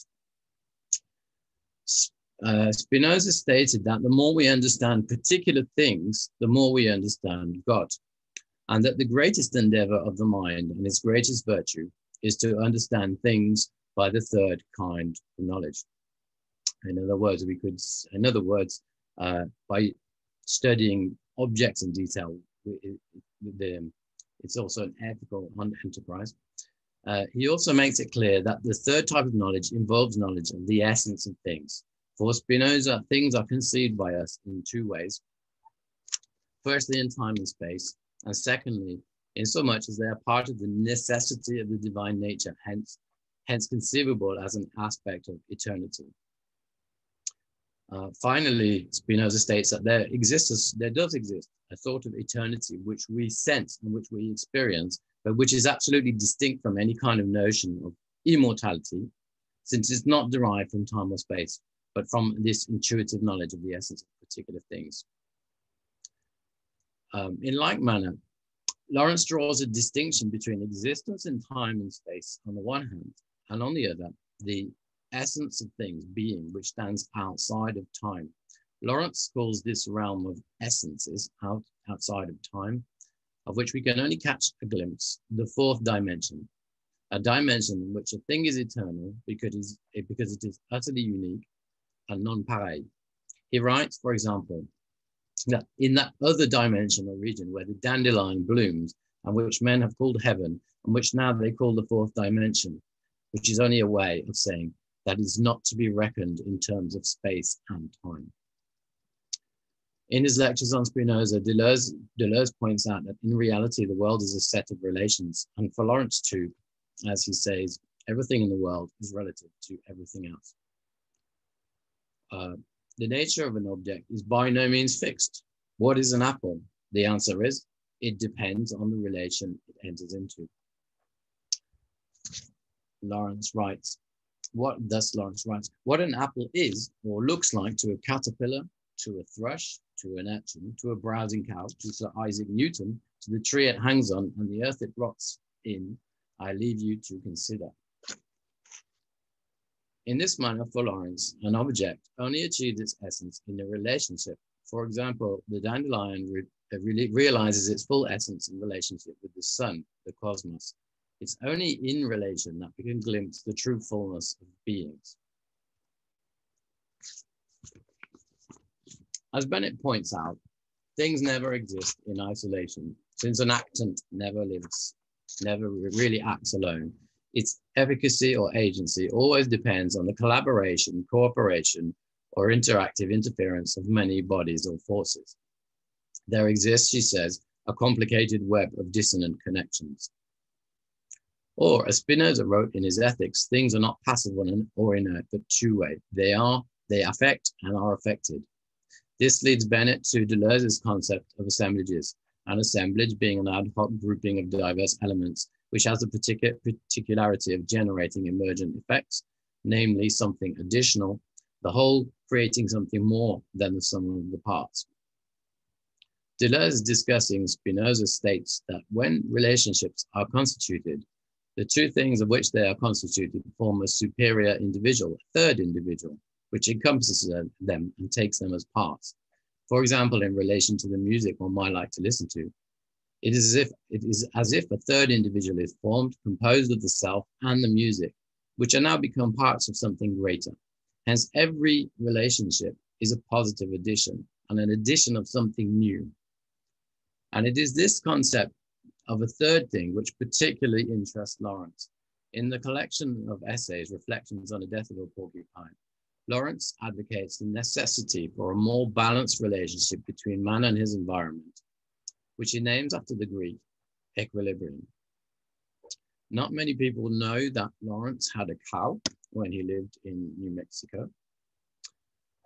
Uh, but in a faintly comic manner, Lawrence described the way he tried to get into equilibrium with his cow, Susan, or indeed with the chicken, which he, which he nicknamed Flatfoot. Nonetheless, the enterprise is serious and has to be taken seriously.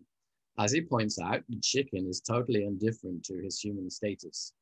Getting into contact with things or other living creatures implies a certain humbleness, and above all, a deanthrocentric attitude Lawrence is critical of mankind's anthropocentric attitude to the cosmos.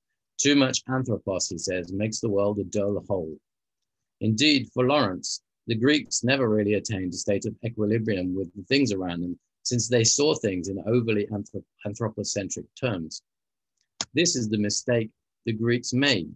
They talked about equilibrium, and then when they wanted to equilibrate themselves with a horse or an axe or an acanthus, then horse, axe, and acanthus had to become nine-tenths human to accommodate them. The same with women, with woman. When the Greek wanted to equilibrate with a woman, she had to become more and more a man, proximate to the man. Call that equilibrium. On the other hand, if I do achieve relatedness between me and all the things around me, says Lawrence, I hear the not me. I hear the not me, the voice of the Holy Ghost then I am in harmony with the universe around me. I have a connection with my circumambient universe and I know my place. This complements Bennett's reservations about the efficacy, efficacy of an environmentalism, which is perhaps overly anthropocentric, based as it is on self-interest and motivated by a very human fear of the environmental blowback of human actions. More effective, according to Bennett, would be to recognize, as, as Guattari, Guattari contended, that we are both of nature and in nature. Our very bodies consist of matter. Our bones are made of mineral, our blood of metal, our neurons of electricity. The old binary of organic and inorganic, of inside and outside, has led us to a very inadequate attitude towards the world of which we are a part. In this way, in Mornings in Mexico, Lawrence contrasted our attitude with that of the American Indians who he admired. For them, everything lives. Thunder lives, and rain lives, and sunshine lives, but not in the personal sense. How is man to get himself into relation with the vast living convulsions of rain, thunder, and sun, which are conscious and alive and potent, but like the vast system beasts, inscrutable and incomprehensible? The American Indians see no, sees no division into spirit and matter, God and not God. Everything is alive, though not personally so. We make reservoirs, reservoirs and irrigation ditches and artesian wells. We make lightning conductors and build fast electric plants. It's a matter of science, energy, force. But the Indian says, no, it all lives. We must approach it fairly with profound respect, but also with desperate courage. In the end, approaching the world with greater respect could provide a means of com combating what Guattari called integrated world capitalism, what we might now call globalism, globalization or neoliberalism. A disease, says Guattari, affecting three registers at the same time, environment, social, and mental. This is why Lawrence advocates rules by aristocrats. Lawrence means this means aristocrats in the ancient sense of the term as men of excellence and specified he certainly does not mean the aristocracy of money or the aristocracy of birth, since man is great according to as his relation to the living universe is vast and vital. Natural aristocrats are those capable of putting mankind into a new relation with the universe. Whoever, he says, can establish or initiate a new connection between mankind and the circumambient universe is, in his own degree, a savior. Lawrence must have had an ominous inkling of the onset of neoliberalism and hoped that these aristocrats would be able to turn the tide. In the coming era, he said, they will rule the world, a, confraternity of the living sun, making the embers of financial internationalism and industrial internationalism pale upon the, hearth, the heart of the earth. To conclude then, Lawrence, like Bennett, attributed agency to things, approving the Etruscan and American Indian idea as he saw it, that everything is alive and that we should approach the universe with respect and even reverence. Through getting into authentic relations with things around, things around us, we can engender uh, a far healthier attitude. Often thought of as an individualist, Lawrence was the opposite and thought that the problem of humanity was that we have lost our connection with the cosmos. Reconceiving our place in the world paved the way to going beyond money, accumulation, and domination onwards to a far healthier, harmonious way of life. Faced as we are with the COVID epidemic and the menace of climate change, we might ask ourselves whether we should be more aware of the importance of living in connection with the cosmos. Thank you. Thank you, um, Tim. Such an interesting paper, and I think um, I might only be speaking for myself, but I think um, it's rare to find such an intricate sort of um, um, um, yeah sort of mixture of philosophy and and um, and literature. So I think that will make for very interesting um, discussions later. Um, so let me, for now, introduce Constance Pompié, who's our last speaker for today. Um, Constance holds a bachelor's degree and a master's degree in English studies. Um, she passed the Agrégation with honours in 2019 and obtained a degree in teaching. She is now a fully funded, funded sorry, PhD student at the University Paul Valéry Montpellier, um, Montpellier 3. So, you know, um, go Montpellier 3, this is, this is your afternoon, um, um, where she researches and teaches under the supervision of Professor Jean-Michel Ganteau. Um, and she started her PhD in 2020 and works on Sarah Hall's use of the pastoral mode in relation to the current environmental crisis. Um, this has led her to work on the concept of materiality, as well as spectrality, trauma fiction, eco-criticism, eco-feminism, vulnerability, and the ethics of care. Um, today, Constance is going to tell us about matter that matters, the aesthetics of materiality, and Sarah Hall's, Haweswater, and how to paint a dead man. Constance, whenever you're ready. Right, thank you so much for having me and thank you Ariane and Tim for such fascinating presentations. So, as human beings, we are surrounded and immersed in matter. Our existence depends on it. However, the current environmental crisis shows us that it is not yet considered as an essential condition of our existence. It is generally conceived as made up of inert particles outside of us, and the sum of these particles forms nature. New materialism in the United States of America and in Europe demonstrates that matter is in fact active both inside and outside of human bodies. The repercussions of such a shift in how matter is perceived are critical to understand the environmental crisis, the Anthropocene, and to adopt a more responsible standpoint on the matter that surrounds us. At the beginning of the millennium, Sarah Hall started writing novels and short stories that shed light on both human and non-human matter. Born and raised in the Lake District, she often uses it as a locus of her writings. Known for being the cradle of British Romanticism, the Lake District is neither idealized nor is it the site of nostalgia in her novels, but it is rather meticulously described as a place where both living and non-living matter thrives. Two of her novels are particularly striking in that regard. The first one, entitled Haweswater and published in 2002, recounts how a valley of the Lake District, inhabited by people who live off the land, is destroyed by the construction of a dam um, designed to provide the city of Manchester with water. The second novel, entitled How to Paint a Dead Man and published in 2009, follows four characters whose lives have either stopped or slowed down in four interwoven narratives.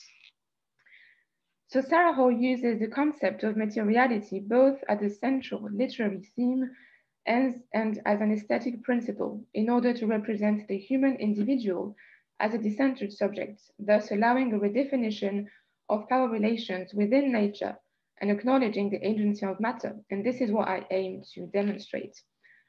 My talk is divided in three parts, starting with how Hall represents the social, political, and environmental consequences of perceiving matter as inert in order to assert its vibrancy and agency. I will then explain how the human being is represented as living matter embedded in networks of interdependencies, creating a continuum between human and non-human matter. And finally, I will attempt to show how the pictorial and literary representations of the land intersect in the novels to address political issues and invite the reader to question their responsibility.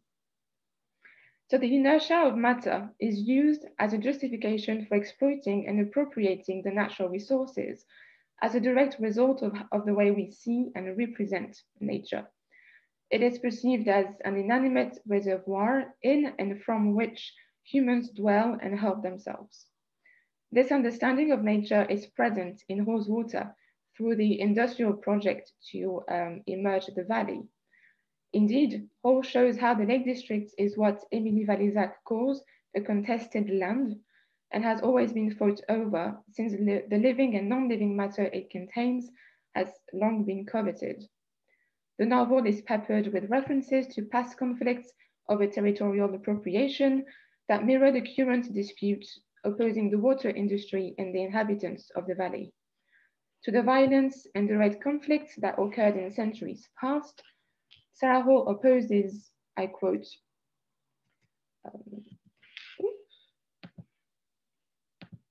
yes, I quote, the village would know um, would know that it was it was to be a, a civilized invasion, the valley annexed with great sympathy and dignity. So the adjective civilized, modifying the noun invasion, um, exemplifies the pervasiveness of unarmed violence in the valley. The indirectness of this conflict highlights what Rob Nixon calls slow violence. I quote, a violence that is neither spectacular nor instantaneous, but rather incremental and accretive, its calamitous repercussions playing out across a range of temporal scales. The industrial invasion takes part in a slow violence um, of the destruction of the environment um, and its living and non-living entities. In How to Paint a Dead Man, the aesthetics of the still life pervades the novel and is a metaphor for how nature is perceived. I quote, for city dwellers, nature is, in, is sorry, invisible, located inside the weather brought to their towns or inside their bodies. When they visit the doctor to hear of its errors, they practice the language of still life as they approach. The aesthetics of the still life is projected on the way nature is perceived by the city dwellers of this passage, still, invisible, and as a literal nature morte. A shift in the conception of matter seems to be the essential stepping stone to take action against the destruction of the environment. This is the core of Jane Bennett's vibrant matter. According to her, matter is constituted of actants, a term she borrows from Bruno Latour, who defines it thus, I quote, something that acts or to which activity is granted by others. Action is therefore not a privilege only attributed to the human subject.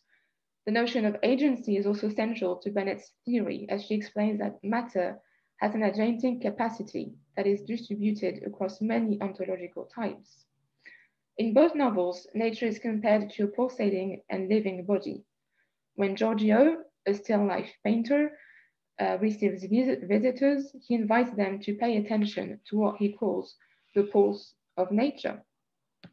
I quote, take your hand from your wrist, I'll tell them. Your blood pressure is not abnormal. You are not on the verge of, the, of disaster. Listen to this greater pulse. The earth grunts as it, as it dislodges and buds break open. Can you hear? The pulse will be there too in the place where you live.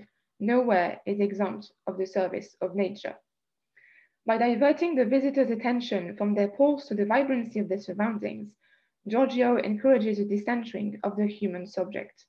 The pulsating quality of nature is also present in Haweswater, in which the valley is referred to as vascular, depicting it as a living organism, which could either be a human or animal. This translation of non-living matter uh, on non-living to living matter animates the landscape and highlights its vitality. So both novels give an example of how lively matter can be represented in contemporary literature. Hall refuses the, the, the premise that matter is always inert and represents the social, political, and environmental consequences of this assumption. Acknowledging and representing the vibrancy of matter generates care for the environment and its components and allows matter to matter. If we consider that matter is endowed with vitality and vibrancy, then the human subject ceases to be placed at the, at the top of the ontological scale and starts to be considered as a living being embedded in networks of interdependencies. Acknowledging, representing, and making these interactions visible is critical as it conveys how inherent they are in ecosystems and encourages human beings to preserve them. Karen Barad's theory of intra-action highlights the importance of protecting these interactions and interdependencies. The term intra-action means that, I quote, there is no inside, no outside. There is only intra-acting from within and as part of the world in its becoming. She further advocates an ethics of mattering and worlding, which is, I quote, about responsibility and accountability for the lively relationalities of becoming of of which we are um, a part. Haweswater offers a representation of this theory as the characters interact very closely with the valley. They depend on the climate to, to take care of their cattle and crops, so much so that according to Emily Valizac, these characters' features are characterized by a meteorological vocabulary and similes. I quote, every expression set and roughened and deepened by the wind and the rain the sun so that one cannot be accompanied without its partners. The climate of the Lake District shaped the features of the characters. The close interactions between human and non-human entities create a continuum stemming from their mingling and reaching what Stacy Alaimo calls transcorporeality, which means that, I, I quote, the substance of the human is ultimately inseparable from the environment. On this continuum, human and non-human um, entities are seen to come closer and closer until they blend. By endowing her characters with geological qualities, um, Sarah Hall exemplifies transcorporeality by forging the illusion that both human beings and the land have a body in common. The paintings crafted by Paul Level, the local painter, uh, I quote, reveal rocks in the shape of people and represent people of kept stone.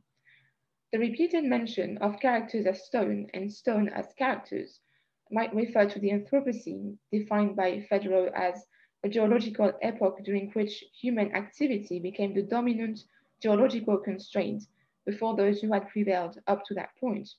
So the interconnectedness between living and non-living matter is explicit here as human activity is shown to have caused a shift in geological time. So representing this interconnectedness in a literal way um, by morphing characters into stone and stone into characters might be a way um, to make the reader aware of the current era we live in, during which the geological fabric of the earth is so much determined by human action that the environment is endangered. As suggested in the title, a central element in Haweswater is precisely water. It is omnipresent in the novel as another vector of transcorporeality.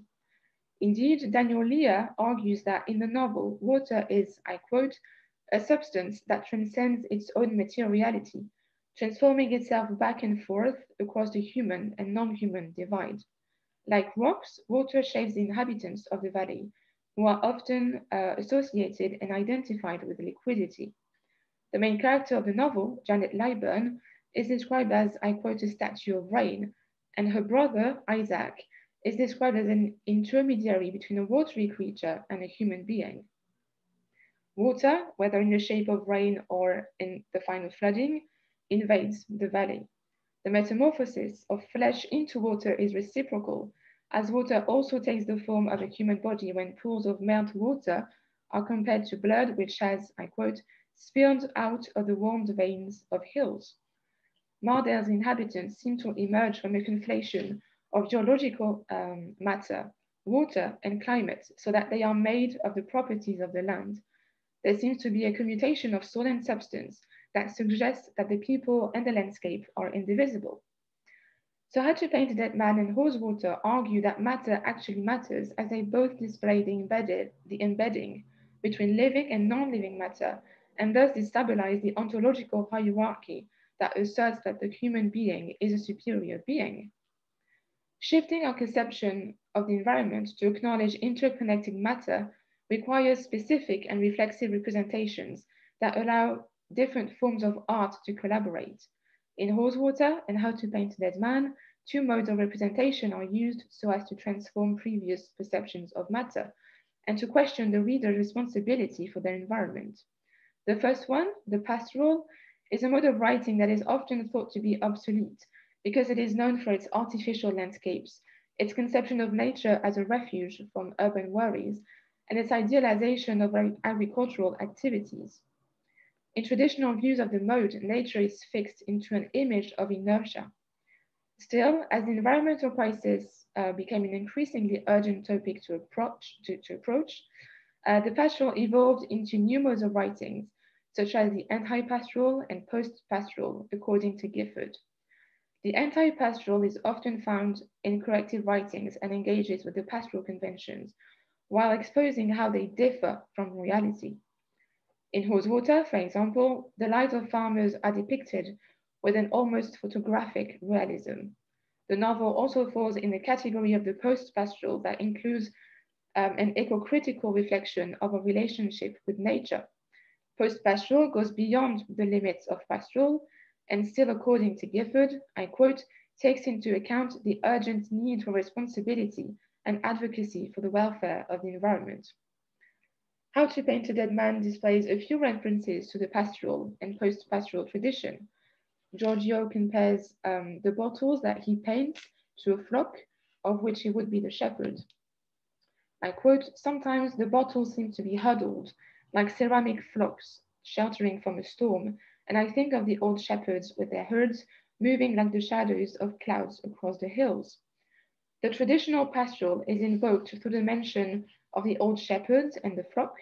However, the flock here is inanimate as it is made of ceramic, which is reminiscent of how the pastoral used to immobilize flock and shepherds into artificial images. The pastoral is closely connected with the notion of iconotextuality, since the first known occurrence of pastoral poetry was enclosed in Theocritus' Idyls. The Greek word for idyll, eidyllion, means a small picture, implying that it only represents a small section of reality. The pastoral then closely intertwines image and text in order to encapsulate an artificial version of rural life. Hall uses the pastoral convention of associating image and text in order to question our perception of nature and matter, and in doing so, enlarging the small picture of the idyll into a bigger picture. In Haweswater, Paul Level's paintings of the Lake District are included in the narration in short ekphrases, uh, which in Liliane Louvel's words translate the visible into the legible so as to inform the narration with a visual equivalent of the representation of the landscape. I quote, humans are jigsawed into a cliff or river or hewn out of the landscape, a man's torso kept, kept in a cairn of rock, a child in the womb of a mountain wall, vast amal amalgams of environment and humanity. They are almost always secondary, hardly existing at all against the background. These images speak a certain amount of truth for those who live with the land.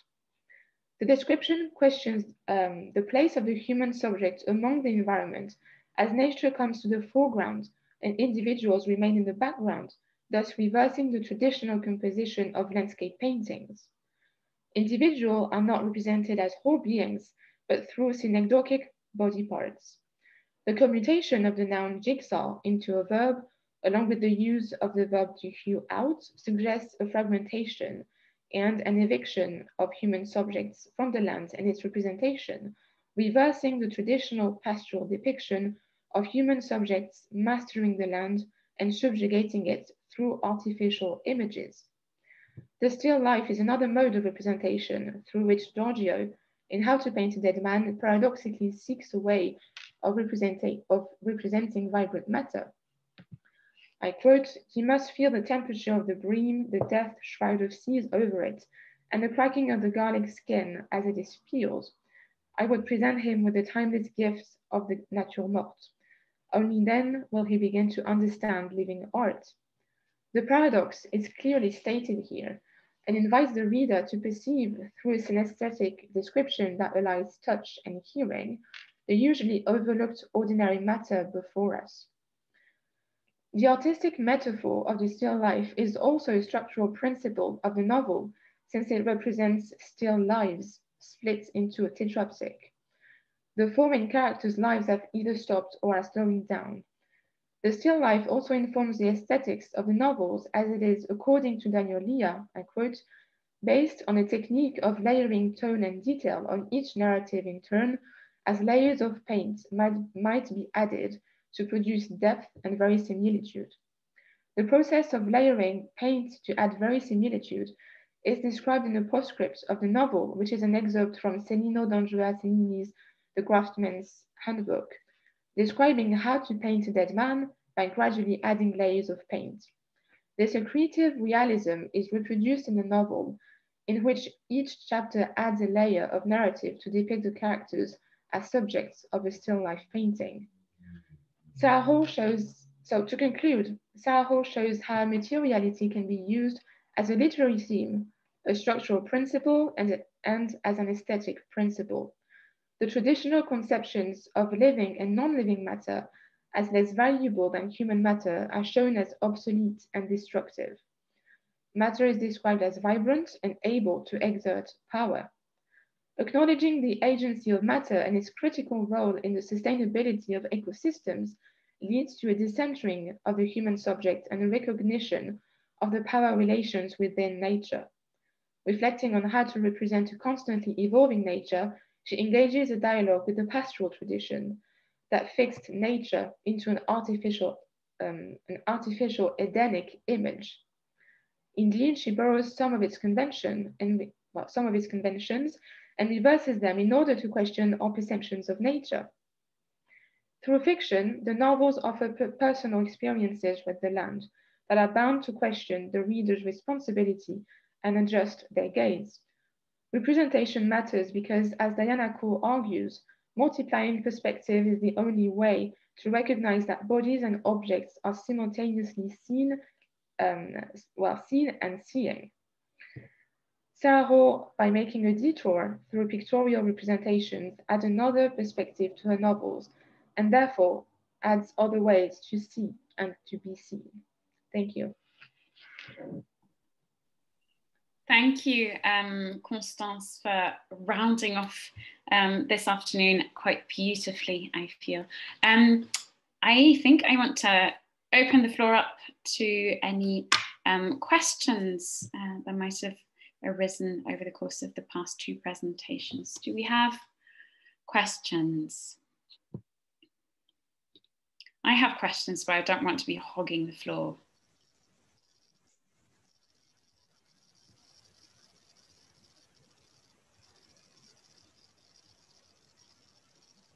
No. Okay. Um, shall I start? So I have a um, a question for Tim first, um, and I'm sorry in advance because I feel that I'm going to, you obviously you're working on nonfiction. I'm going to ask you a question about fiction.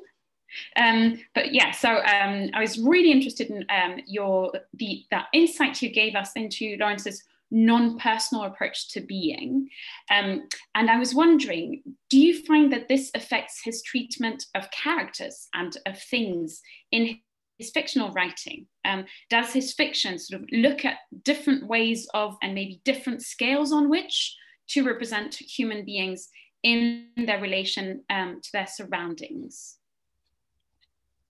Uh, can I ask you a question about your question?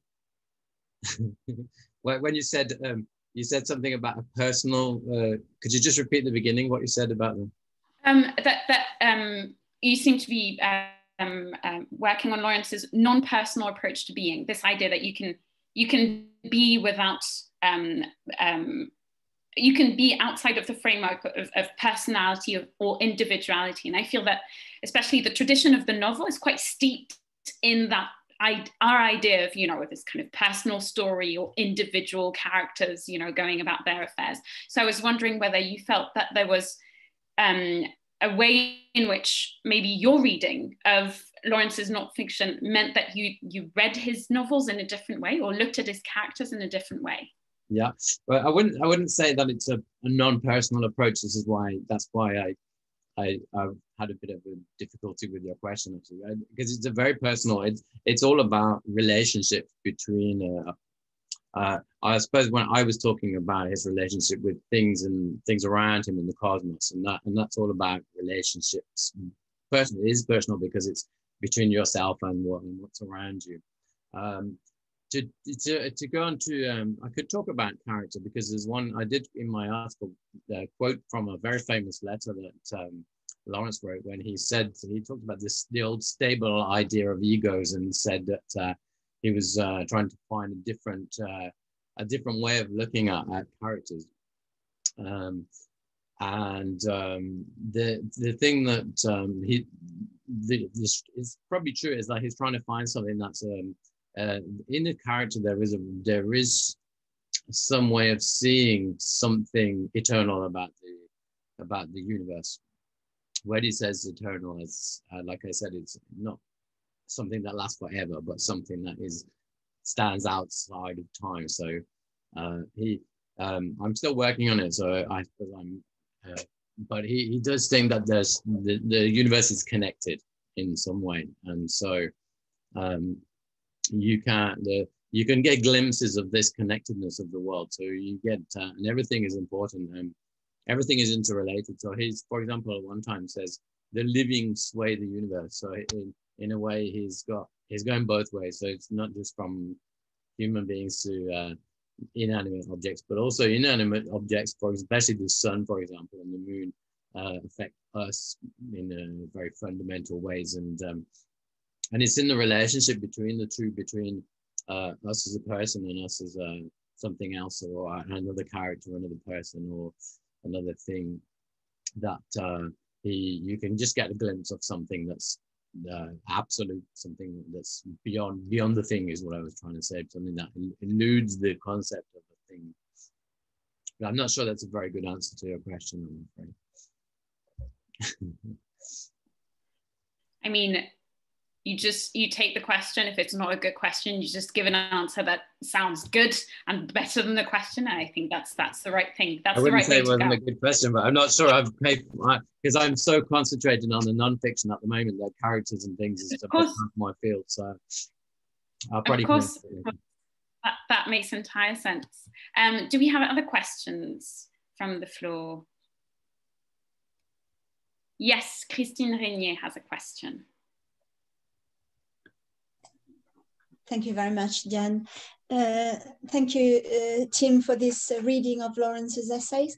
Um, I think you, sh you showed how um, Lawrence and Bennett enter into a sort of dialogue over the years and how uh, Bennett helped you read, amongst other um, critics, um, how she helps you read uh, Lawrence's essays. Now, would you say, because this is something that struck me today, uh, would you say that Lawrence's uh, style which is so flamboyant and fascinating in his novels, to come back to the distinction uh, Diane was making between fiction and non-fiction. So would you say this style, which is so flamboyant, um, becomes a sort of obstacle in his essays uh, to our understanding of his philosophy? Uh, that's um, maybe one, one question I would like to ask you. And the other thing is, uh, you, you said uh, at some point that the, the word thing was problematic. Um, and so uh, when, when you come to your conclusion and the reference Lawrence makes to the Indians, um, would you say that at, at that point, the, um, the way in which the, he uses the word thing um, becomes clearer.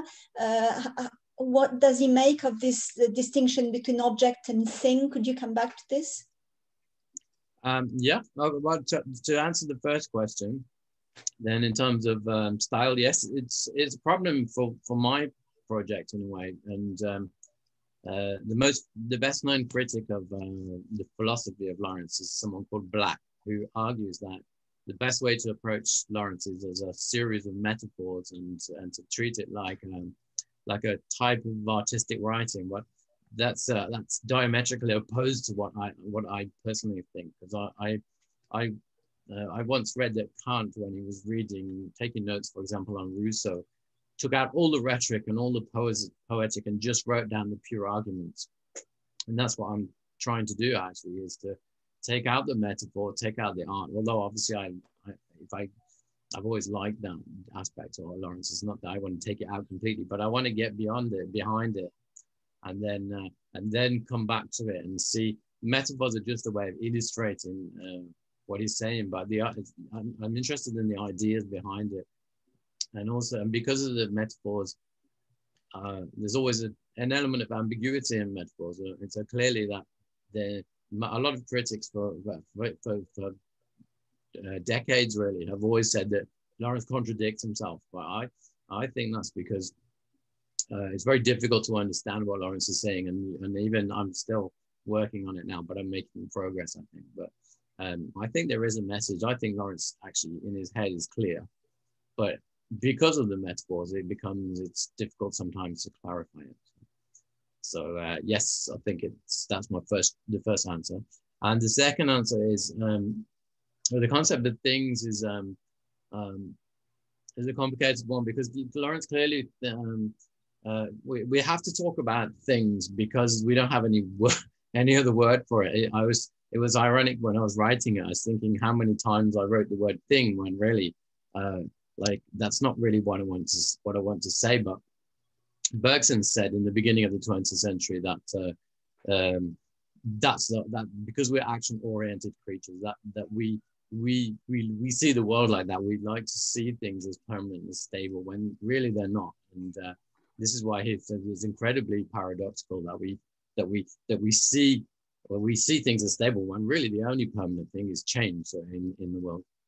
And Lawrence um, clearly subscribes. I mean, Lawrence did, definitely agrees with Bergson that everything is in movement. Everything he, he he likes Heraclitus, for example, that everything is in is in flux.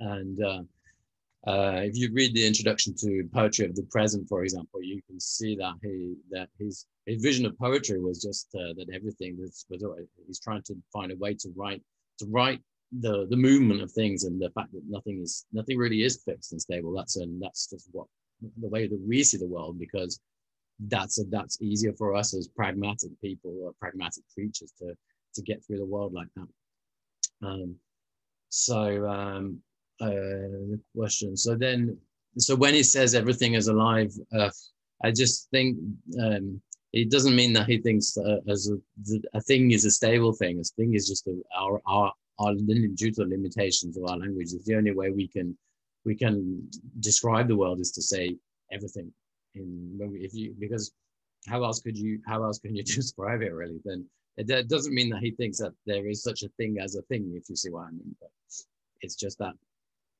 there's there's no other way of doing it. There's no other way of describing it. You need a new concept for to say uh, to say to describe things as as, as as as events. Well it's quite difficult to talk about events. If you talk about events you say every event is alive then people just don't know what you're saying. But that's probably what you should say, really, because every event is a lie. Not everything is a lie. If you see what I mean. Thank you. Thank you. Um, Estelle has a question. Yes, thank you. Thank you to our three speakers. It was really interesting. I had a, a question for Clémence, uh, Constance, sorry, actually.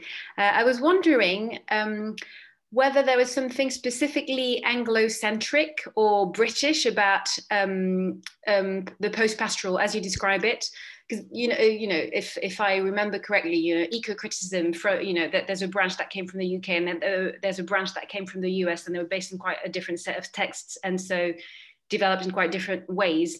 And I was wondering whether you knew of instances of the post-pastoral in America, or even if there are um, regional variations of the post-pastoral around Britain. I don't know if this makes sense.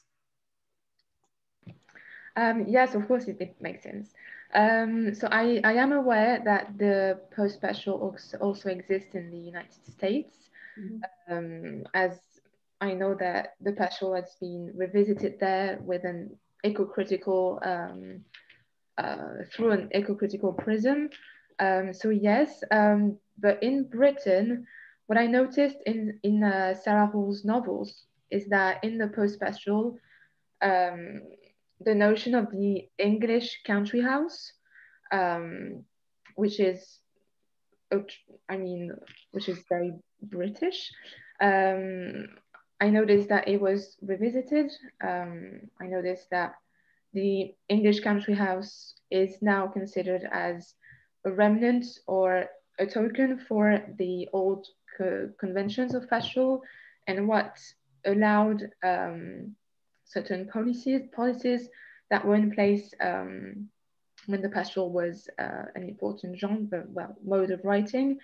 Um, so I think it was one way of, I mean, it is one way of revisiting the pastoral conventions. And it is um, one of the post-pastoral tropes that you can find in, specifically in British literature. Um, and also the Lake District, uh, as I said, it is considered as the cradle of British Romanticism. Um, so it's quite interesting that Sarah Hall comes back to this uh, to this place. Um, she and she, I mean, she is obviously aware of this. She mentioned several times uh, the daffodils. Uh, that obviously reminds us of, of Wordsworth. Um, and I think it is very specific to um, to Britain and especially to the, the north of, of England. So yeah. Thank you. Thank you. Do we have other questions for our speakers? Uh, I think Surav had a question, uh, but it was a question for Ariane. Yes. I, I, had a question for Tim, if I may. Oh, go on. Um, yeah, I was um, intrigued by a, a, comment you made at the beginning, at the end, towards the end of your introduction, where you um, uh, kind of uh, were when when you justified, you know, your kind of uh, uh bringing together Bennett and and um, and D.H. Lawrence, although not writing at the same time, kind of having a, a conversation. Um, and you kind of but I, I, I didn't, um, I couldn't uh, write it down exactly what you said, but you kind of said something like you see um, uh, a lot of early 20th century and late 19th century um, authors being not cannibalized, but kind of precursors. Can you just um, come back to that? Sorry if um, yeah, uh, yeah. Well, uh, it was a bit of a throwaway comment, I suppose, but um, I said that my personal belief is that after a century of intellectual drift, many of the insights of the early 20th century have become like back to coming to fashion again. I'm thinking of things like um, um, science, for example. Science in the beginning of the 20th century was much more questioned, much more interrogated, and, and much less uh, accepted than it than it came to be in the 20th century. And uh, I would say that that's that tendency is sort of reserve, reversed. For example, it, um, the idea that you could break down uh, biological things into physical and chemistry uh, and reduce everything down to, to physics in the end. Uh, that that thing came into the, everyone believed that because uh, and then they when we discovered DNA that seemed to confirm that you could just take a living creature break it down into bits and then break it down into individual atoms and it could just explain everything. Um, that's all fallen out of fashion as, as the century went along and uh, nowadays it's pretty um, old hat really I would say.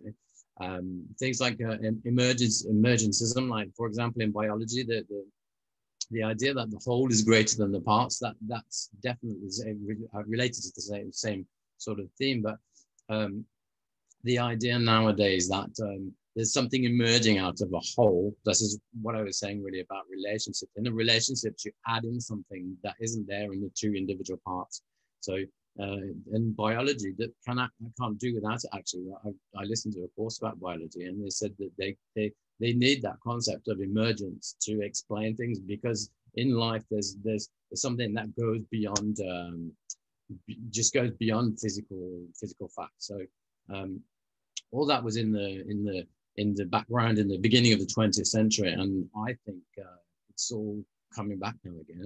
I mean there's there's a lot of other things as well but um, you know i also think uh, to do with neoliberalism and uh, that kind of globalization that took over completely in the end of the 20th century and became the dominant doxa and uh, that's clearly going to that's falling into disarray too. So and i think that that was already being criticized in a lot of ways at the beginning of the 20th century and then it just fell away so so there's quite a few things in it